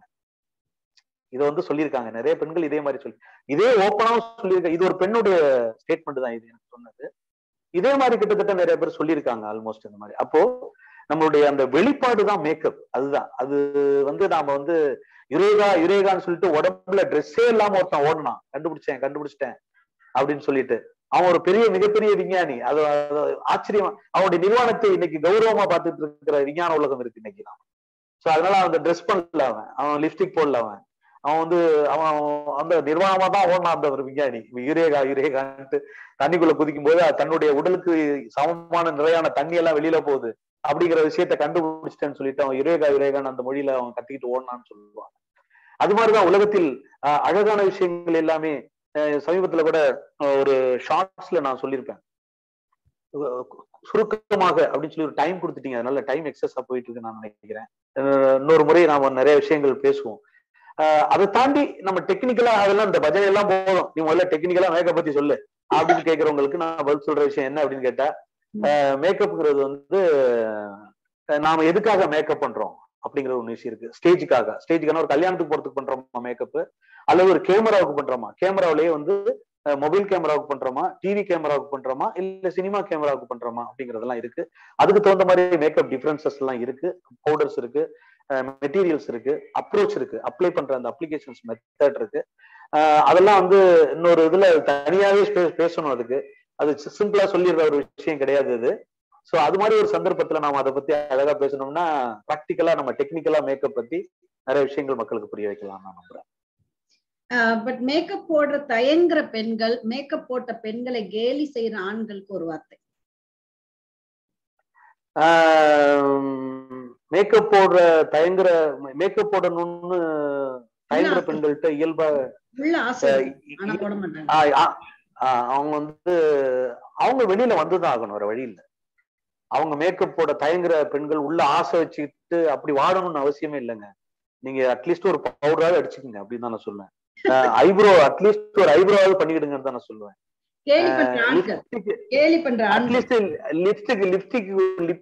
லிப்ஸ்டிக் போட்டுக்கிடுங்க அப்படின்னு தான் நான் சொல்லுவேன். உங்களை தயவு செய்து கெஞ்சி கேட்டுக்கிறேன். யாரையாவது கன்வின்ஸ் பண்ணி எப்படியாவது மேக்கப் போட்டு உங்க ஆசையை தீர்த்துக்கிடுங்கன்னு தான் நான் சொல்லுவேன் ஆசையோட வாழாதீங்க தயவு போட்டுக்குங்க தப்பு கிடையாது. இஸ்லாமிய பெண்கள்கிட்ட இஸ்லாமிய பெண்கள் இஸ்லாமிய பெண்கள் எல்லா மேக்கப்பும் போட்டு மூடிட்டு வருவாங்க. ஆனா அவங்க ஒரு ஃபங்க்ஷனுக்கு போகும்போது அவங்க ஜனங்கள் இருக்கிற இடத்துல எடுத்துப்பாங்க எடுத்துட்டு ஃப்ரீயா இருப்பாங்க. அது மாதிரி உங்க உலகத்துல நீங்க பிரபலமா இருங்க. அது நியாயமான ஒரு விஷயம். கேலி பண்ற ஆண்கள். மேக்கப் கேலி பண்ற ஆண்கள் ஆண்கள் என்ன கேலி பண்ணணும் அப்படின்னு சொல்லிட்டு அவனுக்கு ஒரு அது ஒரு அது ஒரு ஸ்டைல் கலாய்க்கிறது அப்படின்னு ஒரு ஒரு ஒரு கல்ச்சர் ஒண்ணு நம்ம இதுல வந்துகிட்டு இருக்கு. அவன் மேக்கப்படுற ஆண்கள் மட்டும் இல்ல. குரங்கு கூட கலாய்ச்சிட்டு தான் இருப்பான் இவன் அந்த மாதிரி வந்து அனிமல்ஸை கூட கலாய்ப்பான். அதை நக்கல் பண்ணுவான். அதுகிட்ட தண்ணி கொடுக்குற மாதிரி ஏமாத்துவான். அது கையில இருக்கிறத பிடுங்கிட்டு அதை ஓட விடுவான். இது சாடிசம் வேர்ல்டு இது. ஆண்கள்னா வந்து எல்லா ஆண்களையும் நான் சொல்லல. அதுக்கு தண்ணி கொடுக்குற ஆண்களும் இருக்காங்க. அது வேற கொடி பிடிச்சிட போறாங்க. பிரச்சனையா இருக்கும். சோ அதனால வந்து தயவு செய்து குறைங்க தயவு செய்து குறைங்க அதையெல்லாம். அது வந்து உங்க மனைவி அழகா இருந்தா உங்களுக்கு தான் சந்தோஷம். உங்க தங்கை அழகா இருந்தா உங்க மகள் அழகா இருந்தா உங்க அம்மா அழகா இருந்தா உங்களுக்கு தான் சந்தோஷம். உங்களை மாதிரியே இந்த உலகத்துல மற்ற ஆண்களும் இருக்காங்க அப்படின்னு நீங்க நம்புங்க. மற்ற ஆண்களை சந்தேகப்படாதீங்க நீங்க தயவு செய்து அவங்களால எந்த பிரச்சனையும் வந்துடாது இன்னைக்கு வந்து கிரைம் பண்ண முடியாது. இன்னைக்கு இருக்கிற டெக்னாலஜி உலகத்துல வந்து ஆஹ் யாரும் அத்துமீறி ஒரு விஷயத்த பண்ணிட்டெல்லாம் ஆஹ் ஒரு திருடனோ இல்ல ஒரு பொம்பளை பொறிக்கையோ எவனாலையும் நீங்க தப்பு பண்ண முடியாது. வீட்டுக்குள்ள பண்ணாலும் மாட்டிக்கிற அளவுக்கு இன்னைக்கு டெக்னாலஜி வந்துட்டதுனால தைரியமா உங்க பெண்களை வெளியில அனுப்புங்க. அழகாவே அனுப்புங்க. ஒன்றும் பயம் இல்லை. நீங்க பயப்பட வேண்டாம். தயவுசெய்து. செய்து என் மனைவி நான் அப்படிதான் அவ என்ன பண்ணி பண்ணிப்பா. அதனால நான் கவலைப்பட மாட்டேன். என் மனைவி மேக்கப் போட்டுட்டு தானே நியூஸ் நியூஸ் வாசிக்கிறாங்க. இல்லையா? So அப்படிங்கும்போது அதை போய் தப்புன்னு நம்ம எப்படி சொல்ல முடியும்? அது கிடையாது. பார்க்க பிளசண்டா இருக்கணும். உள்ளமும் உடலும் அழகா இருக்கணும். அது ரொம்ப முக்கியம். ஆரோக்கியமா இருக்கும் தேங்க்யூ சோ மச் சார் உங்க ஸ்டைல்ல நீங்க பின்னாடி ஒரு ஆண்டு ஓடிட்டே இருக்கு. அது இன்னொரு நாள் இன்டர்வியூ பண்ணோம் அது பெரிய ஜாம்பவானா வந்துகிட்டு இருக்கு. அவங்க ஒரு சேனல் ரெண்டு பசங்கள். அதுல பெரிய குட்டி குட்டி பையன் பெரிய பண்ண வயசு என்ன சார் அவனுக்கு? பெரியவனுக்கு வந்து ஏழு வயசு ஆகுது சின்னவனுக்கு ஏழு மாசம் ஆகுது. ஏழு வயசு வந்து ஒரு தனியா யூடியூப் சேனல் வச்சுட்டு அசத்து அசத்துன்னு அசத்துது. சாரோட ப்ராடக்ட்னு நீங்க பார்க்காமலே சார் பார்க்காமலே சொல்லிடலாம். இது யாரு இவ்வளவு ட்ரைனிங் கொடுக்குறா? இவ்வளவு கேமரா பயம் இல்லாம ஃப்ளோவா அவர் அப்படி ஹம்பிளா பின்னாடி சுத்திக்கிட்டே இருக்கிறாரு. அவர் வருவாரா? ஒரு ஹலோ அவனுக்கு அந்த அந்த கேமரா டிஸ்டர்ப் பண்ணிட்டே இருக்கும் அவனை. கேமரா முன்னாடி எப்படியாவது பேஸ் காட்டின்னு ட்ரை பண்ணுவான். அவனை நான் கண்ட்ரோல் பண்ணி வச்சிருக்கேன். ஒரு ஹலோ சொல்லலாமா அவரு? வரலாமா அவரு? ஜன- ஹிருத்திக் வாடா. ஹிருத்திக் வா ஆன்டி ஹலோ சொல்லு. அவங்க பயங்கர உன்னை பிரைஸ் பண்றாங்கடா. உன்னை வந்து ரொம்ப பாராட்டுறாங்க. லிப்ஸ்டிக் நான் சிரிச்சு சிரிச்சு lips- பல்லெல்லாம் லிப்ஸ்டிக் ஆயிடுச்சு சார் நீங்க சிரிக்க சிரிக்க. ஹாய் ஜே ஹாய் ஜே எங்க உங்க ஸ்டைல்ல தேங்க்யூ உங்க சேனல்ல ஒரு இன்ட்ரடியூஸ் பண்ணுவீங்களா? அது பண்ணுங்க. ஏதோ சொல்லுவீங்க ஹாய் ஃப்ரெண்ட்ஸ் தயவுசெய்து பிகமிங் சேனல் விமலராணி ஆண்டி சேனலை வந்து எல்லாரும் சப்ஸ்கிரைப் பண்ணுங்க. அந்த சொல்லி பெல் ஐகான் பண்ணுங்க அதை சொல்லு. சொல்லு. என்னப்பா சொல்ற? ஹாய் ஃப்ரெண்ட்ஸ் நான் உங்க ஹிருத்திக் ஜே உங்கள்கிட்ட நான் ரிக்வஸ்ட் பண்றேன். சொல்லு அதை சொல்லு. ஹாய் ஃப்ரெண்ட்ஸ் நான் ஒரு ரித்திக் நான் உங்ககிட்ட ஒரு ரிட்டெக்ஸ் பண்றேன்.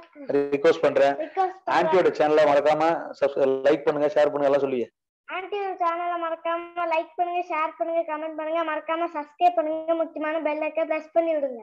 அப்பதான்? அதான் நோட்டிபிகேஷன் வரும். ஓகே தேங்க்யூ தேங்க்யூ தயவுசெய்து தயவுசெய்து அவனுக்காவது பண்ணிருங்க ப்ளீஸ் எல்லாரும்.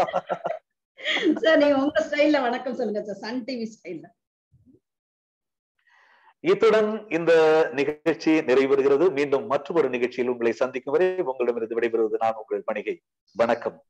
சார் உங்களை விடவே மனசு வரல சார். எனக்கு திருப்பி நெக்ஸ்ட் டைம் வரும்போது ஒரு பேப்பர்ல நியூஸ் வச்சு அப்படி இன்னும் இன்னொன்னு ஏதாவது சொல்லிட்டு போங்க சார். இந்த குரல்ல இந்த சன் டிவி குரல்ல ஏதாவது சொல்லுங்க சார். உங்கள் பிகமிங் சேனலில் இனிவரும் நிகழ்ச்சிகளை நீங்கள் காண தவறாதீர்கள்? Sir thank you so much sir நான் இன்னும் ஒரு ஒரு ரவுண்டு நீங்க எப்படி மேக்கப் பத்தி பேசணும் எப்படி ஒரு காம்பேரரை தயார் பண்ணுவீங்க எப்படி ஒரு நியூஸ் ரீடரை தயார் பண்ணுவீங்க எல்லாமே ஒரு ஒரு எப்படி சினிமா தயாரிப்பாளர்கள் பாடகர்களை எப்படி உருவாக்கலாம்? ஏன்னா என்ன என் மேல எல்லாரும் கோவப்படுவாங்க. எவ்வளவு பெரிய டைரக்டரை உட்கார வச்சுக்கிட்டு இந்த அம்மா மொக்க கேள்வி கேட்டுட்டு உட்கார்ந்துருக்கு. நாங்கெல்லாம் ஆவலோட சினிமா டைரக்டர் ஆகணும்னு நினைக்கிறோம் பாடகராக நினைக்கிறோம் கம்பேரர் ஆகணும்னு நினைக்கிறோம் நிறைய பேர் என்னை திட்டுவாங்க. இன்னும் ஒரு தடவை ஒரே ஒரு தேர்ட்டி மினிட்ஸ் கொடுத்தீங்கன்னா நம்ம உட்காந்து இதெல்லாம். கொஞ்சம் இதெல்லாம் சொல்லி கொடுங்க சார் எனக்கு. நன்றி சார். வணக்கம். With pleasure with pleasure thank you so much thank you so thank you sir bye அப்பா சார்கிட்ட பேசினது நம்மளுக்கு அப்படியே பொல பொல பொல பொல பொலன்னு எனக்கு அது இது என்ன என்ன செய்யறதுனே தெரியல சாரை வச்சுட்டு. அவ்வளோ பேசணும்னு எனக்கு ஆசை. ஆனா டைம் நான் என்ஜாய் பண்ண மாதிரி நீங்களும் என்ஜாய் பண்ணியிருப்பீங்க நான் சொன்ன மாதிரி எனக்கு சிரிச்சு சிரிச்சு சிரிச்சு இமோஷனல் ஆகி அப்புறம் பழைய நினைவுகள்லாம் வந்து அப்படியே ஒரு டென் டுவெல் இயர்ஸ் பின்னாடி போன மாதிரி ஒரு ஃபீலிங் இவ்வளோ ஒரு நல்ல மனிதர் திறமையுள்ள மனிதர் எல்லாமே மொத்தமா இருக்கிற ஒரு மனிதரை பார்க்கறதுலாம் ரொம்ப ரேரு இது என்னோட ஐம்பத்தி ரெண்டு வாழ் ஐம்பத்தி ரெண்டு வயசு எனக்கு. அத்தனை வருஷம் பார்த்ததுல சில மனிதர்களை மட்டும் எனக்கு எப்ப நினைச்சாலும் சந்தோஷமா இருக்கும். என்ன வேணாலும் பேசலாம். சார் நான் திட்டுவேன். கோவப்படுவேன் சார் எனக்கு இது சரியில்லைன்னு சொல்லுவேன். எல்லாமே பேசுவோம். ஒரு மனசுக்குள்ள நம்மளுக்கு வந்து ஒரு இனிபிஷனுமே இருக்காது. இப்படி நம்மளை வந்து ஃபீல் பண்ண வைக்கிறவங்க ரொம்ப ரேரு தயக்கத்தோட தான் நம்ம பேசுவோம். அது ஒரு வாத்தியார் அவர் எனக்கு பாடம் சொல்லி கொடுத்த வாத்தியார் என் கனவை நினைவா நினைவாக்குனவர். அதனால இந்த மாதிரி மனிதர்கள் கிடைச்சாங்கன்னா விட்டுறாதீங்க. விட்டு பிடிச்சிட்டு அப்படியே அவங்களோடய டிராவல் பண்ணுங்க. வாழ்க்கை அப்படியே மலர்ந்துக்கிட்டே வரும். நிறைய பெண்கள் முடக்கி முடக்கி வச்சு இது பேசினா தப்பா அது பேசினா தப்பா நினைச்சிட்டு இருப்போம் இல்லையா? அந்த மாதிரி மனிதர்கள் வர்றாங்க அப்படின்னா கடவுள் யூனிவர்ஸ் நம்மளுக்கு வந்து சிக்னல் கொடுக்குது. இறங்குங்க செய்யுங்க. என்ன தடை வந்தாலும் தடையை ஒரு பாட்டுக்கு லைஃப்ல டெய்லி ஹேண்டில் பண்ணிட்டு நீங்க பாட்டுக்கு அதை செய்யுங்க. கரெக்டான மனிதர்கள் வருவாங்க கரெக்டான தருணங்கள் வருவாங்க. நான் வந்து ஏ ஒரு ஸ்கூல் டைம்ல தான் நான் நியூஸ் ரீடர் ஆகணும்னு நினச்சேன். எனக்கு அந்த கனவு வந்து தேர்ட்டி செவன் நான் ஆகும்போது எனக்கு வயசு முப்பத்தி ஏழு ஆகும்போது எனக்கு அது நினைவாச்சு. ராஜ் டிவில நியூஸ் ரீடரா நிஜந்தன் சர்க்கிள் நான் வந்து வேலை பார்த்தேன் பத்து நாளைக்கு. ஸோ இதெல்லாம் வந்து கனவு நினைவாகிறதுங்கிறது கனெக்ட் த டாட்ஸ்ன்னு சொல்லுவோம். ஸ்டீவ் ஜாப்ஸோட இது. பின்னோக்கி நம்மளுக்கு வாழ்க்கையில நிறைய இன்சிடென்ட்ஸ் நடக்கும். அதெல்லாம் பின்னோக்கி பார்க்கும்போது சுகமா இருக்கும். அது வந்து அப்படி கனெக்ட் பண்ணிக்கிட்டே போகும். அதனால கனவை பார்த்து பயப்படாதீங்க. எந்த தடை இருந்தாலும் இறங்க எந்த வயசுல நினைச்ச கனவுனாலும் எவ்வளவு வயசானாலும் அது நடக்கும் அப்படின்ற நம்பிக்கை இருந்துச்சுன்னா கரெக்டான மணிகை சார் என் வாழ்க்கையில வந்த மாதிரி உங்களுக்கும் கரெக்டான மனிதர் கிடைப்பார். மனிதர்கள் பணத்தை விட ரொம்ப ரொம்ப இம்பார்ட்டன்ட் நல்ல மனிதர்கள் கிடைச்சா அவங்களோட டிராவல் பண்ணுங்க. அது ஒரு சீக்ரெட் கனவை நினைவாக்குறதுக்கு. அதனால பயம் உங்களோட எதிரி ரிஸ்க் எடுக்கிறது ரஸ்க் சாப்பிட்ற மாதிரி இருந்துச்சுன்னா மனிதர்கள் வந்து சுத்தி உள்ள உலகம் பரந்த உலகம் கரெக்டான மனிதர்கள் நம்ம சேர்த்து நம்ம கனவை தூக்கிட்டு போயிடுவாங்க. அதனால அடுத்து இன்னும் ஒரு சுவையான நிகழ்ச்சியில உங்களை நான் பார்க்குறேன். நன்றி வணக்கம்.